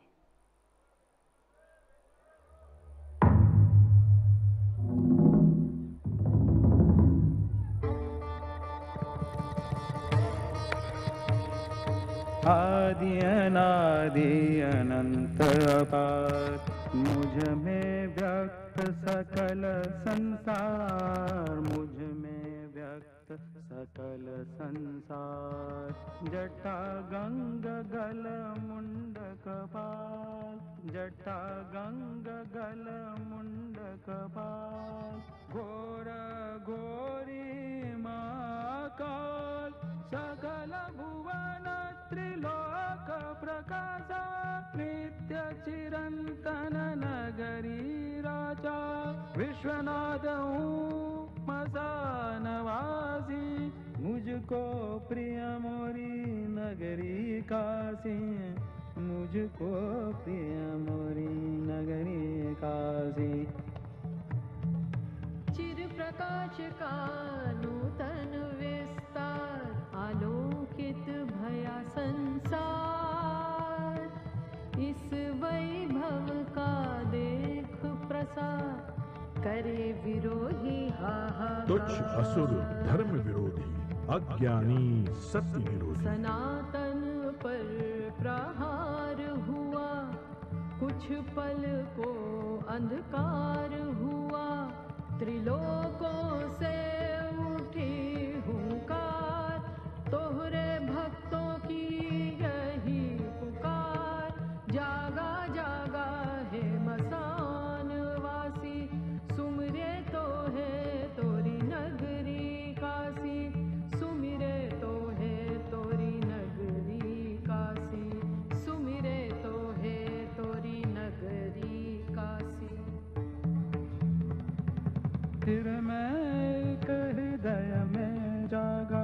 नव सृजन फिर करने लगा। सत्य का फिर परचम लहराया। स्वर्ण युग को फिर वापस लाया।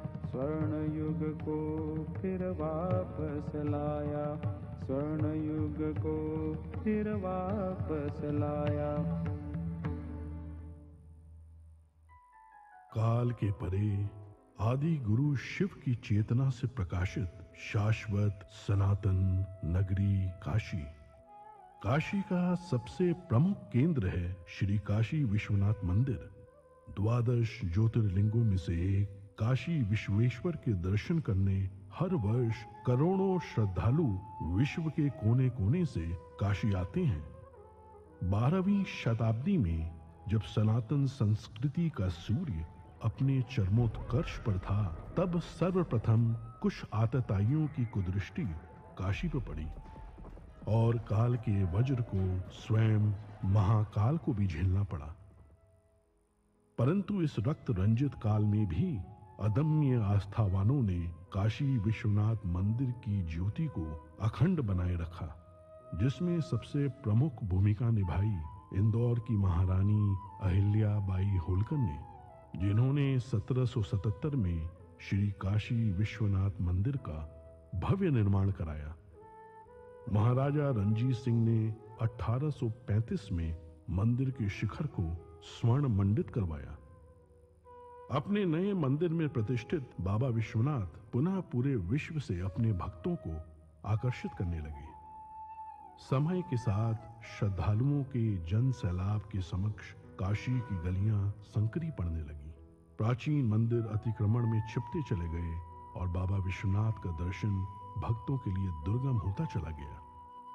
1916 में जब महात्मा गांधी काशी विश्वनाथ का दर्शन करने आए तो इस क्षेत्र को देखकर उनका मन बहुत व्यथित हुआ। काशी हिंदू विश्वविद्यालय में अपने वक्तव्य में अपनी इस पीड़ा को व्यक्त करने से वो अपने आप को रोक नहीं पाए। प्रधानमंत्री नरेंद्र मोदी ने काशी का जनप्रतिनिधि बनने के बाद अपने परिश्रम की पराकाष्ठा और दृढ़ इच्छा शक्ति से काशी के सर्वांगीण, सर्वस्पर्शी और सर्व समावेशी विकास की अभूतपूर्व यात्रा प्रारंभ की। प्राचीन काल में माँ गंगा से जल भरकर सीधे बाबा विश्वनाथ को अर्पित करने की परंपरा थी, जो कालांतर में अनियोजित निर्माण के कारण अवरुद्ध हो गई। प्रधानमंत्री नरेंद्र मोदी जी ने लोक आस्था से जुड़ी इस विशिष्ट प्रथा को पुनर्जीवित करने का निर्णय लेते हुए माँ गंगा को बाबा काशी विश्वनाथ से पुनः मिलाने का संकल्प लिया। जब मैं राजनीति में नहीं था, तब भी जब यहाँ आता था, कई बार आया। लेकिन लग रहा था कि हाँ कुछ करना चाहिए, होना चाहिए। लेकिन पता नहीं, शायद भोले बाबा ने तय किया होगा कि बेटे, बातें बहुत करते हो, आओ इधर करके दिखाओ। शंकर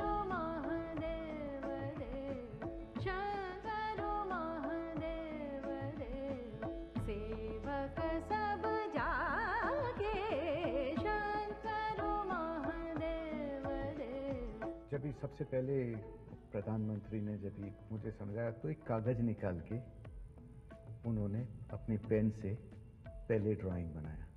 बोले, गंगा से होते हुए चढ़ के पिलग्रिम्स ऊपर आ सके और ऐसे बनाना है कि उनका मन प्रफुल्लित हो जाए।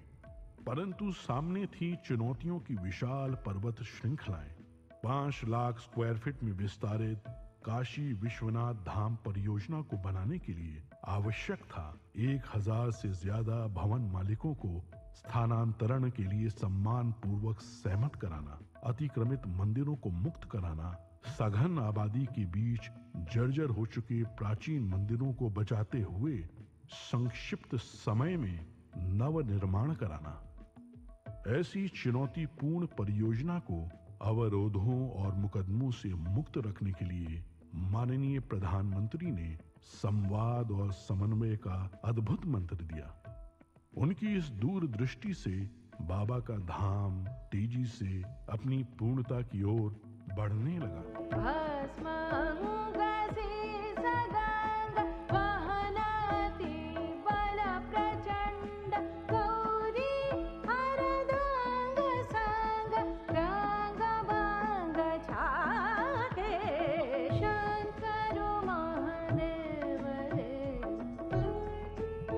कौन ऐसा भारतीय होगा जो अपने जीवन में एक बार काशी और माँ गंगा के दर्शन और स्नान करने का अवसर न अपने मन में समेटे हुए हो? उस प्रकार की सुविधा देना, उस प्रकार का स्वरूप भी देना है। और मुझे लगता है कि प्रधानमंत्री मोदी जी के आने के बाद ये संभव हो पाया है। इस जटिल परियोजना की प्लानिंग डिज़ाइनिंग और आर्किटेक्चर में पग पग पर माननीय प्रधानमंत्री ने अपना स्पष्ट दृष्टिकोण रखा। उनके मार्गदर्शन में पूरा परिसर दिव्यांगों के लिए सुगम्य बनाया गया। कोरोना काल में भी वे कार्य की प्रगति का ऑनलाइन अवलोकन करते रहे। प्रधानमंत्री नरेंद्र मोदी जी का निश्चय अटल था और बाबा विश्वनाथ पर विश्वास अडिग।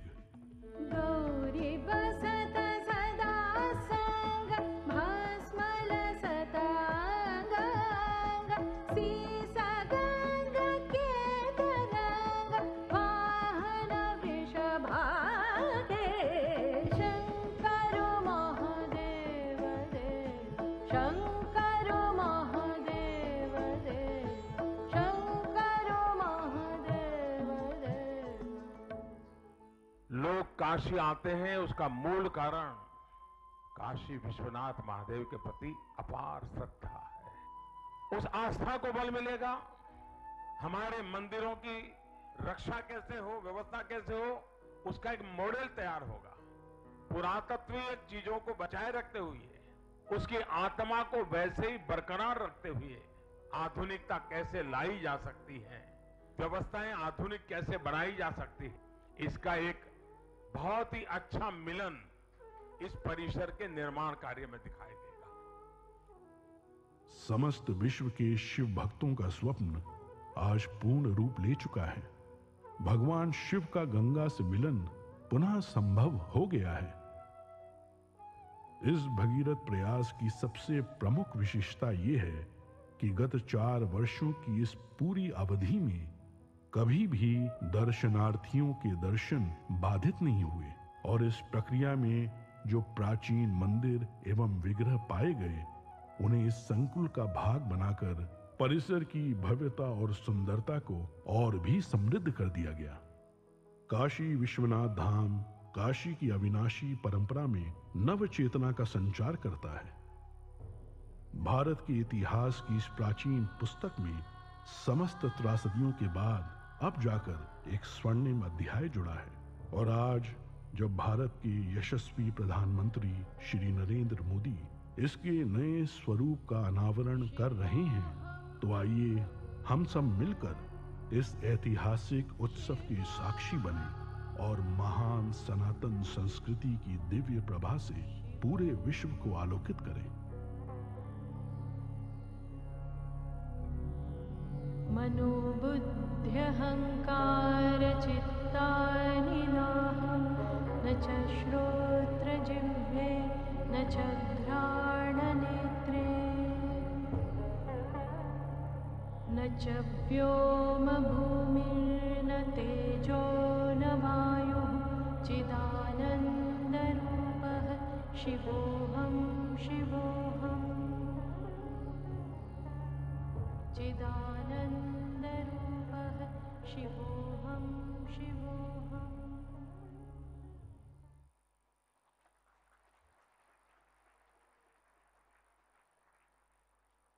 काशी के वैभव का विस्तार है श्री काशी विश्वनाथ धाम।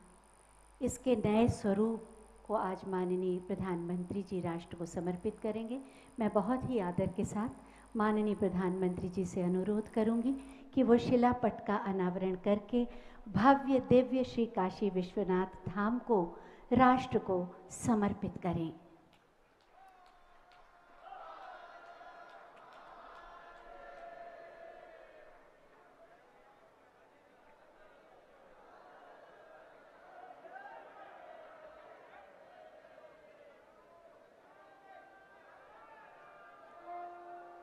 शिलापट का अनावरण और श्री काशी विश्वनाथ धाम राष्ट्र को समर्पित। साथ ही मैं माननीय प्रधानमंत्री जी से अनुरोध करूँगी कि आज के इस ऐतिहासिक समारोह में अपने हृदय के उद्गार व्यक्त करें।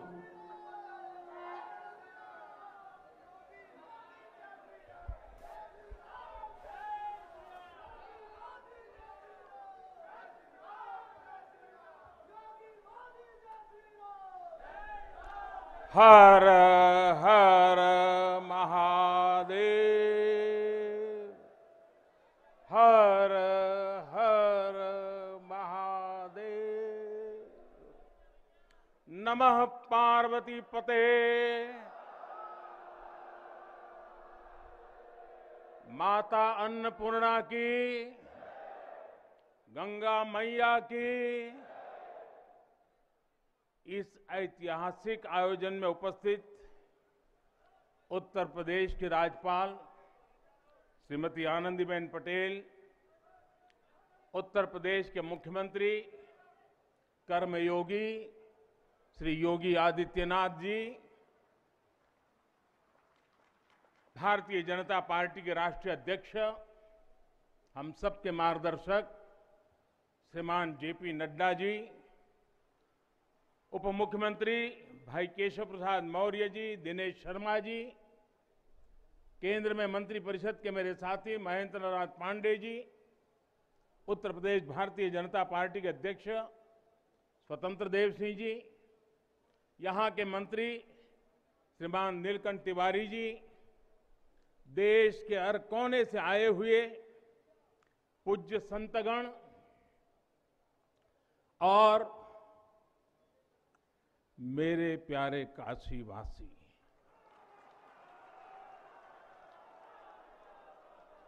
और देश विदेश से इस अवसर के साक्षी बन रहे सभी श्रद्धालु साथीगण, काशी के सभी बंधुओं के साथ, बाबा विश्वनाथ के चरणों में हम शीश नवावत है। माता अन्नपूर्णा के चरणन का बार बार वंदन करत है। अभी मैं बाबा के साथ साथ नगर कोतवाल काल भैरव जी के दर्शन करके ही आ रहा हूँ। देशवासियों के लिए उनका आशीर्वाद लेकर आ रहा हूँ काशी में कुछ भी खास हो, कुछ भी नया हो तो सबसे पहले उनसे पूछना आवश्यक है। मैं काशी के कोतवाल के चरणों में भी प्रणाम करता हूँ। गंगा तरंग रमणीय झटा कलापम, गौरी निरंतर विभूषित वाम भागम नारायण प्रिय मनंग मदापहारम। वाराणसी पुरपतिम भज विश्वनाथम।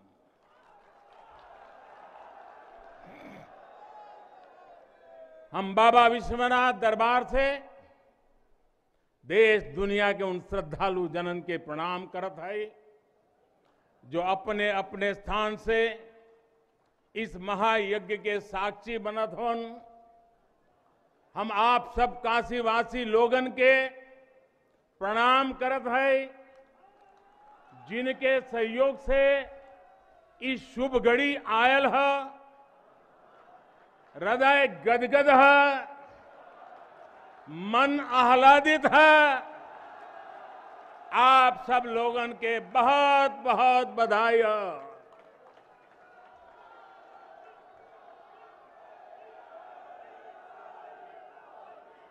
साथियों, हमारे पुराणों में कहा गया है कि जैसे ही कोई काशी में प्रवेश करता है, सारे बंधनों से मुक्त हो जाता है। भगवान विश्वेश्वर का आशीर्वाद, एक अलौकिक ऊर्जा यहाँ आते ही हमारे अंतर आत्मा को जागृत कर देती और आज आज तो इस चीर चैतन्य काशी की चेतना में एक अलग ही स्पंदन है। आज आदि काशी की अलौकिकता में एक अलग ही आभा है। आज शाश्वत बनारस के संकल्पों में एक अलग ही सामर्थ्य दिख रहा है। हमने शास्त्रों में सुना है जब भी कोई पुण्य अवसर होता है तो सारे तीर्थ, सारी देवीय शक्तियाँ बनारस में बाबा के पास उपस्थित हो जाती है। कुछ वैसा ही अनुभव आज मुझे बाबा के दरबार में आकर हो रहा है। ऐसा लग रहा है कि हमारा पूरा चेतन ब्रह्मांड इससे जुड़ा हुआ है। वैसे तो अपनी माया का विस्तार बाबा ही जाने, लेकिन जहाँ तक हमारी मानवीय दृष्टि जाती है, विश्वनाथ धाम के इस पवित्र आयोजन के, इसे समय पर पूरा, इस समय पूरा विश्व जुड़ा हुआ है। साथियों, आज भगवान शिव का प्रिय दिन सोमवार है।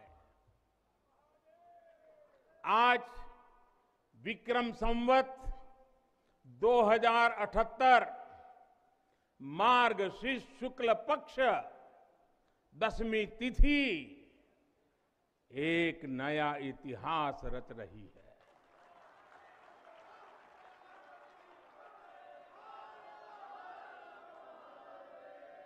और हमारा सौभाग्य है कि हम इस तिथि के साक्षी बन रहे हैं। आज विश्वनाथ धाम अकल्पनीय, अनंत ऊर्जा से भरा हुआ है।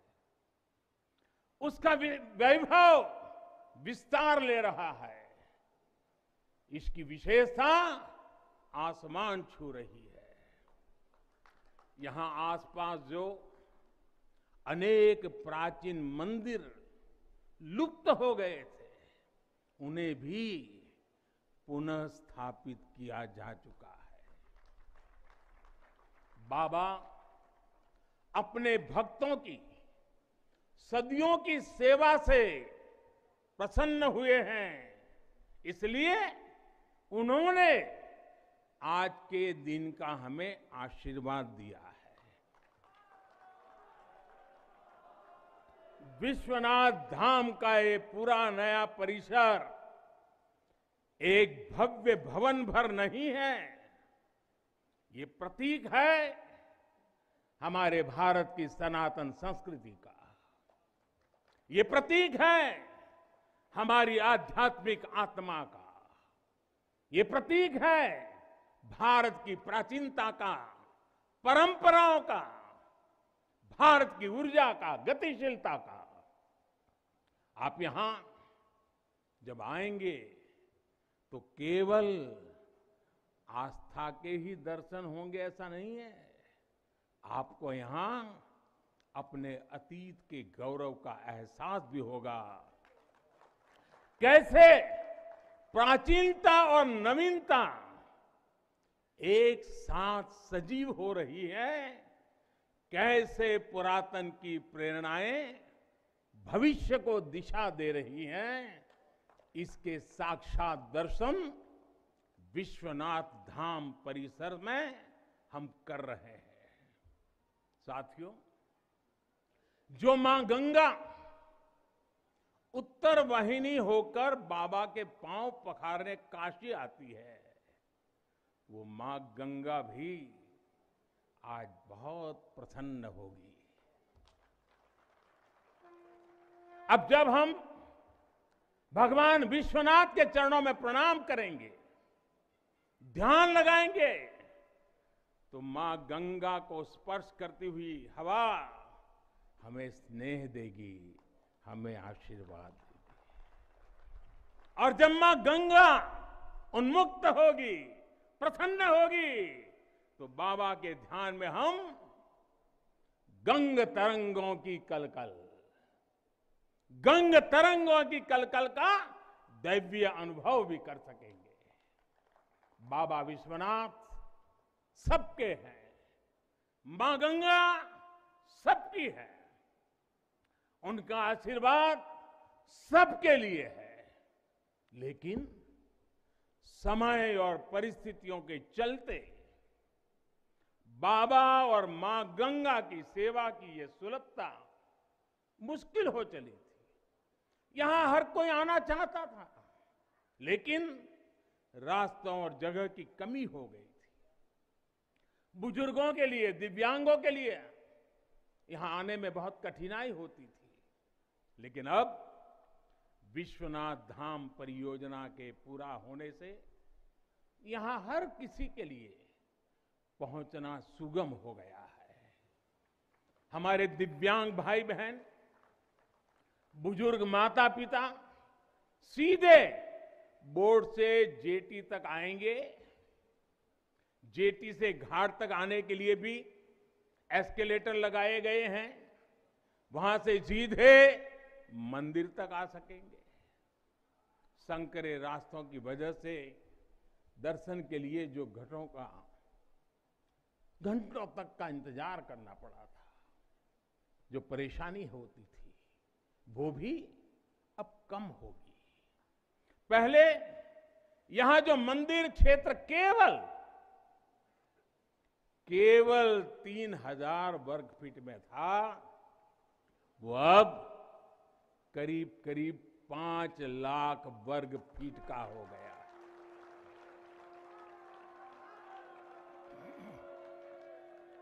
अब मंदिर और मंदिर परिसर में पचास, साठ, सत्तर हज़ार श्रद्धालु आ सकते हैं। यानी पहले माँ गंगा का दर्शन स्नार और वहाँ से सीधे विश्वनाथ धाम, यही तो है।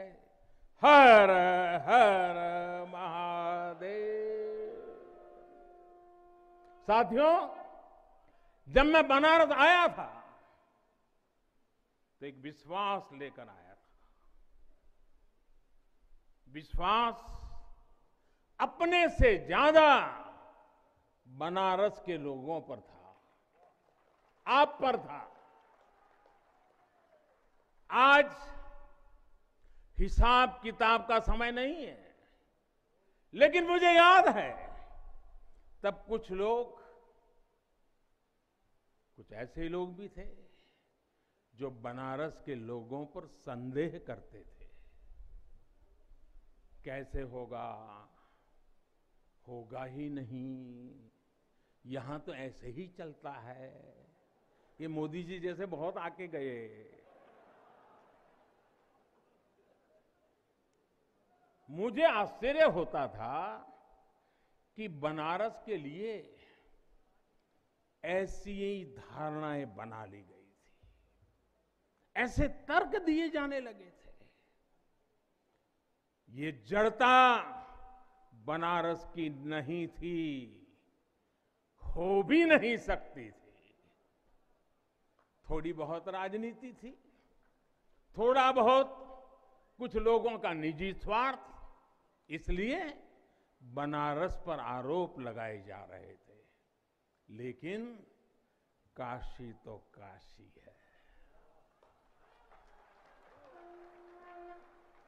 काशी तो अविनाशी है। काशी में एक ही सरकार है।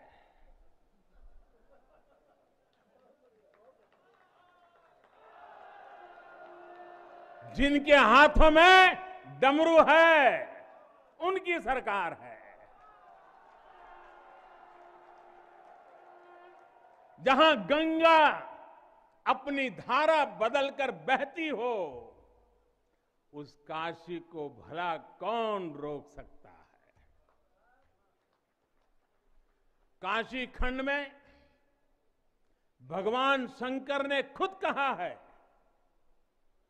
बिना मम प्रसादम वही कह काशी प्रति प्रद्युत्ते अर्थात, बिना मेरी प्रसन्नता के काशी में कौन आ सकता है? कौन इसका सेवन कर सकता है? काशी में महादेव की इच्छा के बिना न कोई आता है और न यहाँ उनकी इच्छा के बिना कुछ होता है। यहाँ जो कुछ होता है, महादेव की इच्छा से होता है, ये जो कुछ भी हुआ है, महादेव ने ही किया है।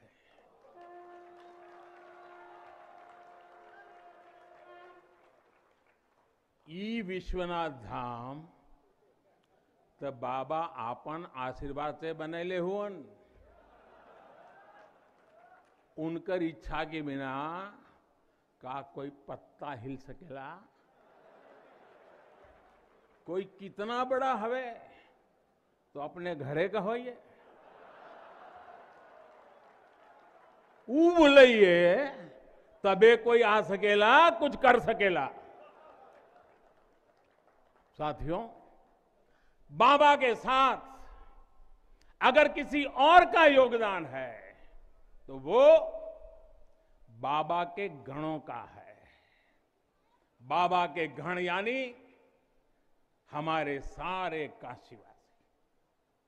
सारे काशीवासी, जो खुद महादेव के ही रूप है। जब भी बाबा को अपनी शक्ति अनुभव करानी होती है। वो काशी वासियों का माध्यम ही बना देते हैं। फिर काशी करती है और दुनिया देखती है। इदम शिवाय, इदम नमम इदम शिवाय, इदम नमम भाई और बहनों, मैं आज अपने हर उस श्रमिक भाई बहनों का भी आभार व्यक्त करना चाहता हूँ, जिसका पसीना इस भव्य परिसर के निर्माण में बहा है। कोरोना के इस विपरीत काल में भी उन्होंने यहाँ पर काम रुकने नहीं दिया। मुझे अभी अपने इस श्रमिक साथियों से मिलने का अवसर मिला। उनके आशीर्वाद लेने का सौभाग्य मिला। हमारे कारीगर, हमारे सिविल इंजीनियरिंग से जुड़े लोग, प्रशासन के लोग, वो परिवार जिनके यहाँ घर हुआ करते थे, मैं सभी का अभिनंदन करता हूँ और इन सबके साथ मैं यूपी सरकार, हमारे कर्मयोगी मुख्यमंत्री योगी आदित्यनाथ आदित्यनाथ जी का भी और उनकी पूरी टीम का भी अभिनंदन करता हूँ, जिन्होंने काशी विश्वनाथ धाम परियोजना को पूरा करने के लिए दिन रात एक कर दिया।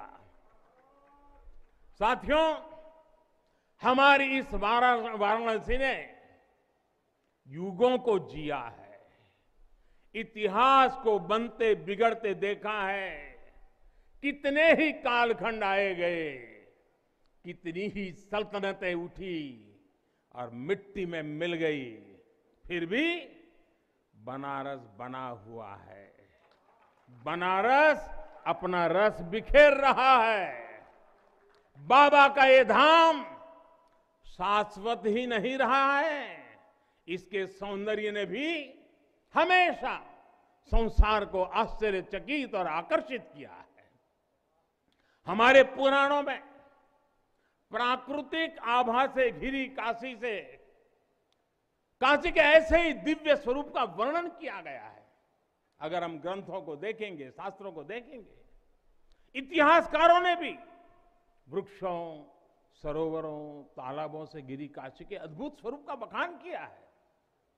लेकिन समय कभी एक जैसा नहीं रहता। आतताइयों ने इस नगरी पर आक्रमण किए, इसे ध्वस्त करने के प्रयास किए। औरंगज़ेब के अत्याचार, उसके आतंक का इतिहास साक्षी है। जिसने सभ्यता को तलवार के बल पर बदलने की कोशिश की, जिसने संस्कृति को कट्टरता से कुचलने की कोशिश की, लेकिन इस देश की मिट्टी बाकी दुनिया से कुछ अलग है। यहाँ अगर औरंगज़ेब आता है तो शिवाजी भी उठ खड़े होते हैं। अगर अगर कोई सालार मसूद इधर बढ़ता है तो राजा सुहलदेव जैसे वीर योद्धा, उसे हमारी एकता की ताकत का एहसास करा देते हैं। और अंग्रेज़ों के दौर में भी वॉरन हेस्टिंग का क्या हाल काशी के लोगों ने किया था? ये तो काशी के लोग समय समय पर बोलते रहते हैं और काशी की ज़ुबान पे निकलता है। घोड़े पर होदा और घोड़े पर होदा और हाथी पर जिन जान लेकर भागल वारिन हास्टिंग साथियों, आज समय का चक्र देखिए। आतंक के वो पर्याय इतिहास के काले पन्नों तक सिमट कर रह गए हैं। और मेरी काशी मेरी काशी आगे बढ़ रही है। अपने गौरव को फिर से नई भव्यता दे रही है। साथियों, काशी के बारे में मैं जितना बोलता हूँ उतना डूबता जाता हूँ, उतना ही भावुक हो जाता हूँ। काशी शब्दों का विषय नहीं है। काशी संवेदनाओं की सृष्टि है। काशी वो है जहाँ जागृति ही जीवन है। काशी वो है जहाँ मृत्यु भी मंगल है। काशी वो है जहाँ सत्य ही संस्कार है, काशी वो है, जहाँ प्रेम ही परंपरा है।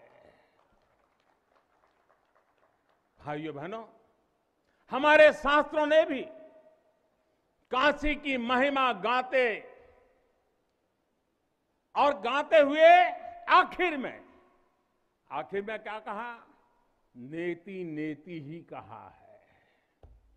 यानी जो कहा, उतना ही नहीं है, उससे भी आगे कितना कुछ है। हमारे शास्त्रों ने कहा है शिवम ज्ञायन इति ब्रुयो। शिव शब्दार्थ चिंतका। अर्थात, शिव शब्द का चिंतन करने वाले लोग शिव को ही ज्ञान कहते हैं। इसलिए ये काशी शिवमयी है। ये काशी ज्ञानमयी है। और इसलिए ज्ञान, शोध, अनुसंधान, ये काशी और भारत के लिए स्वाभाविक निष्ठा रहे हैं। भगवान शिव ने स्वयं कहा है सर्व क्षेत्रेशु भूपृष्ठे सर्व क्षेत्रेशु भूपृष्ठे। काशी क्षेत्रम च मे वपु अर्थात धरती के सभी क्षेत्रों में काशी साक्षात मेरा ही शरीर है। इसलिए यहाँ का पत्थर, यहाँ का हर पत्थर शंकर है। इसलिए हम अपनी काशी को सजीव मानते हैं और इसी भाव से हमें अपने देश के कण कण में मातृभाव का बोध होता है। हमारे शास्त्रों का वाक्य है, दृश्यते सवर्ग सर्वे है, काश्यम विश्वेश्वर तथा, यानी काशी में सर्वत्र, हर जीव में भगवान विश्वर, विश्वेश्वर के ही दर्शन होते हैं। इसलिए काशी जीवत्व को सीधे शिवत्व से जोड़ती है।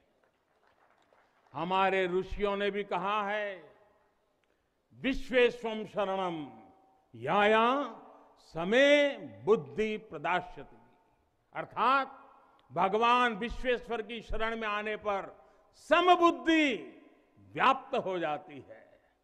बनारस वो नगर है जहाँ से जगत गुरु शंकराचार्य को श्री डोम राजा की पवित्रता से प्रेरणा मिली। उन्होंने देश को एकता के सूत्र में बांधने का संकल्प लिया। ये वो जगह है जहाँ भगवान शंकर की प्रेरणा से गोस्वामी तुलसीदास जी ने रामचरित मानस जैसी अलौकिक रचना की। यहीं की धरती सारनाथ में भगवान बुद्ध का बोध संसार के लिए प्रकट हुआ। समाज सुधार के लिए कबीरदास जैसे मनीषी यहाँ प्रकट हुए। समाज को जोड़ने की ज़रूरत थी तो संत रविदास जी की भक्ति की शक्ति का केंद्र भी ये काशी बनी। ये काशी अहिंसा और तप की प्रतिमूर्ति चार जैन तीर्थंकरों की धरती है। राजा हरिश्चंद्र की सत्य निष्ठा से लेकर वल्भाचार्य और रामानंद जी के ज्ञान तक चैतन्य महाप्रभु और समर्थ राम गुरु गुरु रामदास के से लेकर स्वामी विवेकानंद और मदन मोहन मालवीय तक, कितने ही ऋषियों और आचार्यों का संबंध काशी की पवित्र धरती से रहा है। छत्रपति शिवाजी महाराज ने यहाँ प्रेरणा पाई। रानी लक्ष्मीबाई से लेकर चंद्रशेखर आज़ाद तक कितने ही सेनानियों की कर्मभूमि, जन्मभूमि काशी रही है। भारत भारतेंदु हरिचंद्र जयशंकर प्रसाद, मुंशी प्रेमचंद, पंडित रविशंकर और बिस्मिल्ला खान जैसी प्रतिभाएँ इस स्मरण को कहाँ तक लेते जाए, कितना कहते जाए? भंडार भरा पड़ा है। जिस तरह काशी अनंत है, वैसे ही काशी का योगदान भी अनंत है। काशी के विकास में इन अनंत पुण्य आत्माओं की ऊर्जा शामिल है। इस विकास में भारत की अनंत परंपराओं की विरासत शामिल है। इसलिए हर मत मतांतर के लोग, हर भाषा वर्ग के लोग यहाँ आते हैं तो यहाँ से अपना जुड़ाव महसूस करते हैं। साथियों, काशी हमारे भारत की सांस्कृतिक, आध्यात्मिक राजनीति तो रा, राजधानी तो है ही। ये भारत की आत्मा का एक जीवंत अवतार भी है। आप देखिए पूरब और उत्तर को जोड़ती हुई यूपी में बसी ये काशी। यहाँ विश्वनाथ मंदिर को तोड़ा गया तो मंदिर का पुनर्निर्माण माता अहल्याबाई होलकर ने करवाया। जिनकी जन्मभूमि महाराष्ट्र थी जिनकी कर्मभूमि इंदौर, माहेश्वर और अनेक क्षेत्रों में थी। उन माता अहल्याबाई होलकर को आज मैं इस अवसर पर नमन करता हूँ। 200-250 साल पहले उन्होंने काशी के लिए इतना कुछ किया था। तब के बाद काशी के लिए इतना काम अब हुआ है।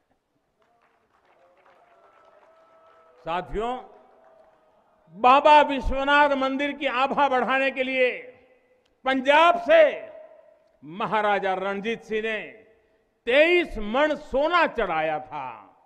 इसके शिखर पर सोना मढ़वाया था।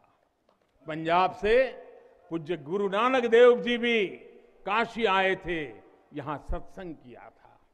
दूसरे सिख गुरुओं का भी काशी से विशेष रिश्ता रहा था। पंजाब के लोगों ने काशी के पुनर्निर्माण के लिए दिल खोलकर दान दिया था। पूरब में बंगाल की रानी भवानी ने बनारस के विकास के लिए अपना सब कुछ अर्पण किया। मैसूर और दूसरे दक्षिण भारतीय राजाओं का भी बनारस के लिए बहुत बड़ा योगदान रहा है। एक ऐसा शहर है जहाँ आपको उत्तर, दक्षिण, नेपाली लगभग हर तरह की शैली के मंदिर दिख जाएँगे। विश्वनाथ मंदिर, इसी आध्यात्मिक चेतना का केंद्र रहा है। और अब ये विश्वनाथ धाम परिसर अपने भव्य रूप में इस चेतना को और ऊर्जा देगा।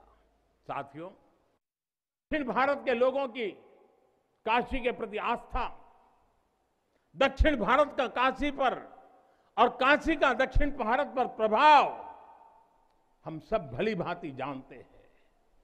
एक ग्रंथ में लिखा है तेनो पयाथेन, कदाचनात् वाराणसीम पाप निवारणम आवादी वाणी बलिना, सविष्यन विलोक्य लीला वासरे विलिप्ता कन्नड़ भाषा में कहा गया है, यानी जब सदगुरु माधवाचार्य जी अपने शिष्यों के साथ चल रहे थे तो उन्होंने कहा था कि काशी के विश्वनाथ पाप का निवारण करते हैं।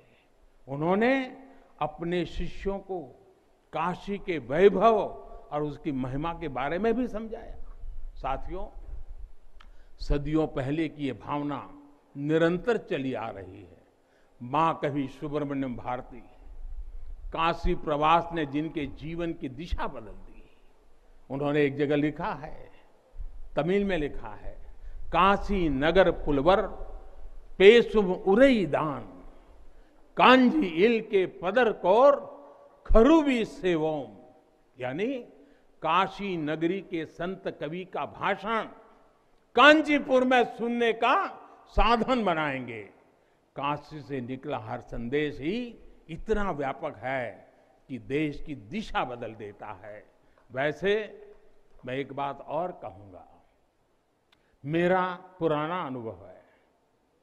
हमारे घाट पर रहने वाले, नाव चलाने वाले, कई बनारसी साथी तो और आपने भी कभी अनुभव किया होगा, तमिल, कन्नड़ा, तेलुगु, मलयालम, इतनी फराटेदार तरीके से बोलते हैं कि लगता है कि कहीं केरला, तमिलनाडु या कर्नाटक तो नहीं आ गए अब। इतना बढ़िया बोलते हैं। साथियों, भारत की हज़ारों सालों की ऊर्जा ऐसे ही तो सुरक्षित रही है, संरक्षित रही है। जब अलग अलग स्थानों के क्षेत्रों के सूत्र से जुड़ते हैं तो भारत, एक भारत श्रेष्ठ भारत के रूप में जागृत होता है। इसलिए हमें सौराष्ट्र सोमनाथम सौराष्ट्र सोमनाथम से लेकर अयोध्या, मथुरा, माया, काशी कांची अवंतिका का हर दिन स्मरण करना सिखाया जाता है। हमारे यहाँ तो द्वादश ज्योतिर्लिंगों के स्मरण का ही फल बताया गया है। तस्य तस्य फल प्राप्ति ही, भविष्यति न संशय। यानी सोमनाथ से लेकर विश्वनाथ तक द्वादश ज्योतिर्लिंगों का स्मरण करने से हर संकल्प सिद्ध हो जाता है। इसमें कोई संशय ही नहीं है। ये संशय इसलिए नहीं है क्योंकि स्मरण के बहाने पूरे भारत का भाव एकजुट हो जाता है। और जब भारत का भाव आ जाए तो संशय कहाँ रह जाता है? असंभव क्या बचता है? साथियों, ये भी सिर्फ़ संयोग नहीं है कि जब भी काशी ने करवट ली है, कुछ नया किया है, देश का भाग्य भी बदला है। बीते सात वर्षों से काशी में चल रहा विकास का महायज्ञ आज एक नई ऊर्जा को प्राप्त कर रहा है। काशी विश्वनाथ धाम का लोकार्पण भारत को एक निर्णायक दिशा देगा, एक उज्जवल भविष्य की तरफ़ ले जाएगा। ये परिसर साक्षी है हमारे सामर्थ्य का, हमारे कर्तव्य का। अगर सोच लिया जाए, ठान लिया जाए तो असंभव कुछ भी नहीं है। हर भारतवासी की भुजाओं में वो बल है। हर भारतवासी की भुजाओं में वो बल है, जो अकल्पनीय को साकार कर देता है। हम तब जानते हैं, हम तपस्या जानते हैं, देश के लिए दिन रात खपना जानते हैं। चुनौती कितनी ही बड़ी क्यों ना हो, हम भारतीय मिलकर उसे परास्त कर सकते हैं। विनाश करने वालों की शक्ति, कभी भारत की शक्ति और भारत की भक्ति से बड़ी नहीं हो सकती। याद रखिए, जैसी दृष्टि से हम खुद को देखेंगे, वैसी ही दृष्टि से विश्व भी हमें देखेगा। मुझे खुशी है कि सदियों की गुलामी ने हम पर जो प्रभाव डाला था, जिस हिंद भावना से भारत को भर दिया गया था, अब आज का भारत उससे बाहर निकल रहा है। आज का भारत सिर्फ़ सोमनाथ मंदिर का सौंदर्यीकरण ही नहीं करता, बल्कि समंदर में हज़ारों किलोमीटर ऑप्टिकल फाइबर भी बिछा रहा आज का भारत सिर्फ़ बाबा केदारनाथ मंदिर का जीर्णोद्धार ही नहीं कर रहा, बल्कि अपने दमखम पर अंतरिक्ष में भारतीयों को भेजने की तैयारी में जुटा है। आज का भारत सिर्फ़ अयोध्या में प्रभु श्री राम का मंदिर ही नहीं बना रहा, बल्कि देश के हर ज़िले में मेडिकल कॉलेज भी बना रहा है। आज का भारत सिर्फ़ बाबा विश्वनाथ धाम को भव्य रूप ही नहीं दे रहा, बल्कि गरीब के लिए करोड़ों पक्के घर भी बना रहा है। साथियों, नए भारत में अपनी संस्कृति का गर्व भी है और अपने सामर्थ्य पर उतना ही भरोसा भी है। नए भारत में विरासत भी है और विकास भी है। आप देखिए, अयोध्या से जनकपुर आना जाना आसान बनाने के लिए राम जन्म की मार्ग का निर्माण हो रहा है। आज भगवान राम से जुड़े स्थानों को रामायण सर्किट से जोड़ा जा रहा है और साथ ही रामायण ट्रेन चलाई जा रही है। बुद्ध सर्किट पर ही काम हो रहा है तो साथ ही कुशीनगर में इंटरनेशनल एयरपोर्ट भी बनाया गया है। करतारपुर साहब कॉरिडोर का निर्माण किया गया है। तो वहीं हेमकुंड साहिब जी के दर्शन आसान बनाने के लिए रॉप रॉपवे बनाने की भी तैयारी है। उत्तराखंड में चार धाम सड़क महापरियोजना पर भी तेज़ी से काम जारी है। भगवान विठल के करोड़ों भक्तों के आशीर्वाद से श्री संत ज्ञानेश्वर महाराज पालखी मार्ग और संत तुकाराम महाराज पालखी मार्ग का भी काम अभी कुछ हफ़्ते पहले शुरू हो चुका है। साथियों, केरला में गुरुवायूर मंदिर हो या तमिलनाडु में कांचीपुरम वेलंकानी, तेलंगाना का जोगलांबा देवी मंदिर हो या फिर बंगाल का बेलूर मठ, गुजरात में द्वारका जी हो या फिर अरुणाचल प्रदेश का परशुराम कुंड, देश के अलग अलग राज्यों में हमारी आस्था और संस्कृति से जुड़े ऐसे अनेकों पवित्र स्थानों पर पूरे भक्ति भाव से काम किया गया है, काम चल रहा है। भाइयों और बहनों, आज का भारत अपनी खोई हुई विरासत को फिर से संजो रहा है। यहाँ काशी में तो माता अन्नपूर्णा खुद विराजती है। मुझे खुशी है कि काशी से चुराई गई माँ अन्नपूर्णा की प्रतिमा एक शताब्दी के इंतज़ार के बाद, सौ साल के बाद, अब फिर से काशी में स्थापित की जा चुकी है। माता अन्नपूर्णा की कृपा से कोरोना के कठिन समय में देश ने अपने अन्न भंडार खोल दिए। कोई गरीब भूखा न सोए, इसका ध्यान रखा, मुफ़्त राशन का इंतज़ाम किया। साथियों जब भी हम भगवान के दर्शन करते हैं, मंदिर आते हैं, कई बार ईश्वर से कुछ मांगते हैं, कुछ संकल्प लेकर भी जाते हैं।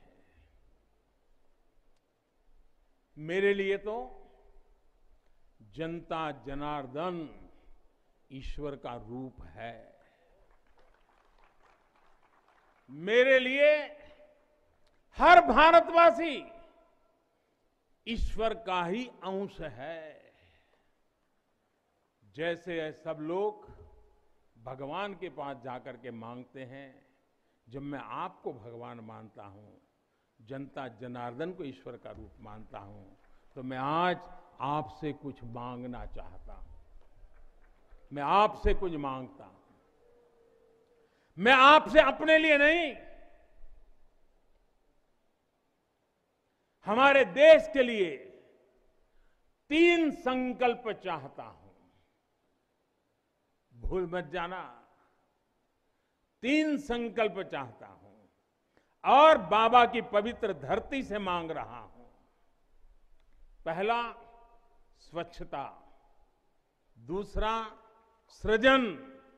और तीसरा आत्मनिर्भर भारत के लिए निरंतर प्रयास।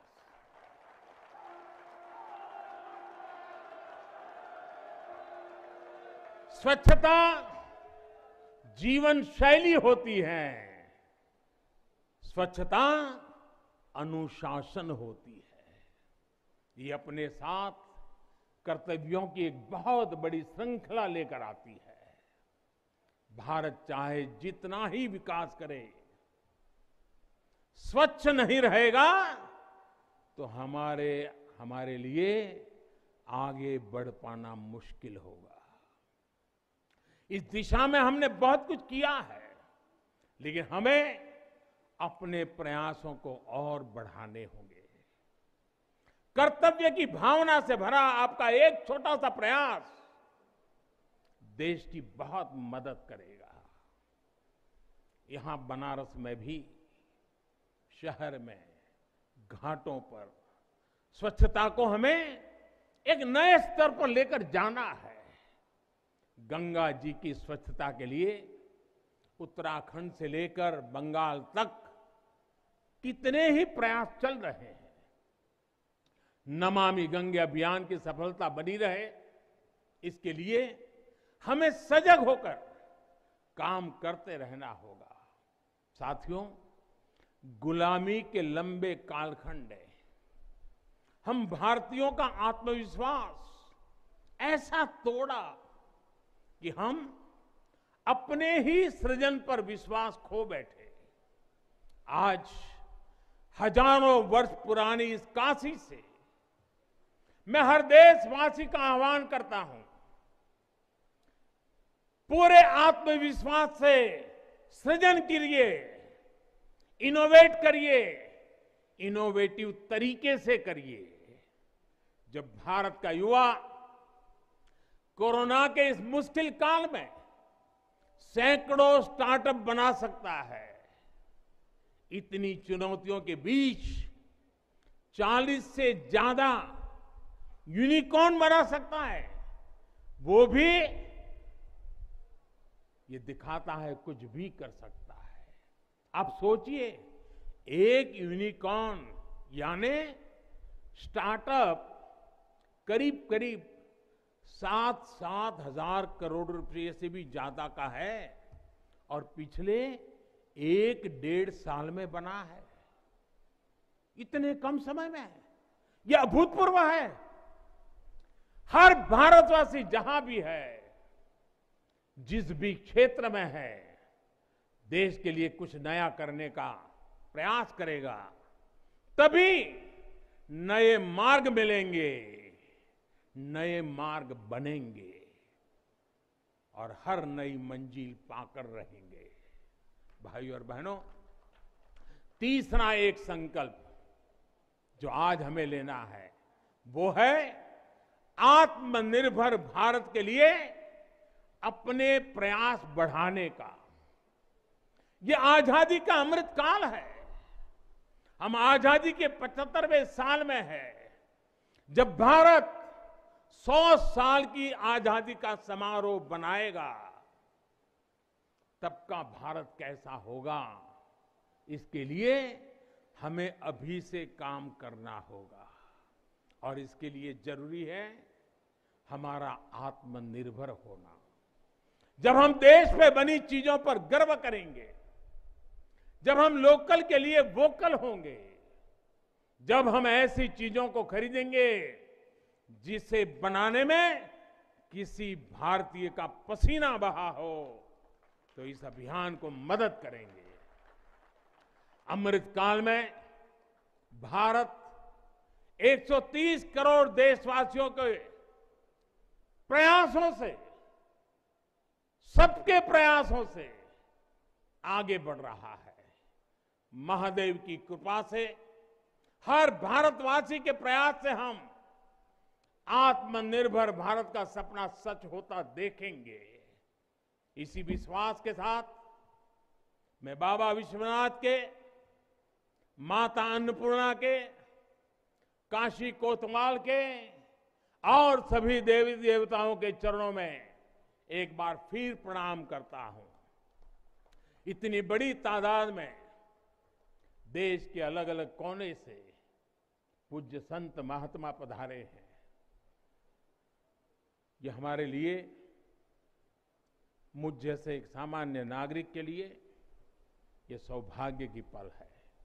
मैं सभी संतों का, सभी पूज्य महात्माओं का सर झुका करके हृदय से अभिनंदन करता हूँ, प्रणाम करता हूँ। मैं आज सभी काशीवासियों को, देशवासियों को फिर से बधाई देता हूँ बहुत बहुत शुभकामनाएँ देता हूँ। हर हर महादेव। हर हर महादेव। हर हर महादेव।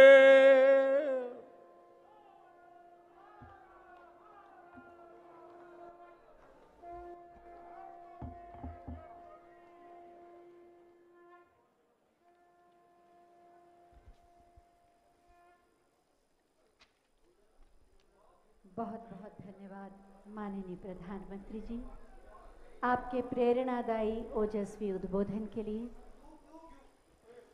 पूज्य संतों दिव्य संबोधन, दिव्य धाम का लोकार्पण, दिव्य धाम के लोकार्पण के साथ ही साथ दिव्यतम महोत्सव। प्रधानमंत्री नरेंद्र मोदी ने आत्मनिर्भर भारत सृजन के का संकल्प और स्वच्छता का संकल्प ये उन्होंने देशवासियों से मांगा है। और साथ ही साथ बाबा के धाम में आत्मनिर्भर भारत की संकल्पना को साकार करने का व्रत भी देशवासियों से लेने के लिए उन्होंने ये संकल्प यहाँ से मांग की है। यहाँ बाबा के धाम में उन्होंने आकर कुछ मांगा है। वो तीन चीज़ें हैं, स्वच्छता, सृजन और आत्मनिर्भर भारत का सतत प्रयास। इस समय देश भर के आए हुए संत महात्माओं, मनीषियों, विद्वानों प्रबुद्ध जनों से संवाद कर रहे हैं, शिष्टाचार भेंट कर रहे हैं प्रधानमंत्री नरेंद्र मोदी, जिन्होंने इस दिव्य, भव्य, नव्य धाम का लोकार्पण किया है। काशी विश्वनाथ धाम परियोजना, जिसका लोकार्पण आज प्रधानमंत्री नरेंद्र मोदी के कर कमलों से हुआ है। संत स्वरूप में खुद ही प्रधानमंत्री नरेंद्र मोदी का व्यक्तित्व है। उनके संबोधन में हमने देखा कि किस तरीके से उन्होंने ये बताया कि भारत आध्यात्म के साथ साथ अंतरिक्ष में भी विकास कर रहा है। भारत किस तरह विरासत को सजोकर विकास भी कर रहा है। अगर अयोध्या में दिव्य, भव्य राम मंदिर का निर्माण हो रहा है तो समूचे देश भर में मेडिकल कॉलेजों के साथ साथ स्वास्थ्य मंदिरों का भी निर्माण हो रहा है। काशी विश्वनाथ धाम में अगर दिव्य, भव्य काशी विश्वनाथ धाम परियोजना का लोकार्पण हो रहा है तो यह भी सत्य है कि हम अंतरिक्ष में गगनयान भेजने की भी तैयारी कर रहे हैं। ये बदलते हुए भारत का उद्भव का, भारत के उत्कर्ष का ये प्रमाण है, ये प्राकट्य है, और यह नवीन रूप जो काशी विश्वनाथ धाम के परियोजना का आज लोकार्पण हुआ है, यह भी भारत की भावभूमि पर नवीन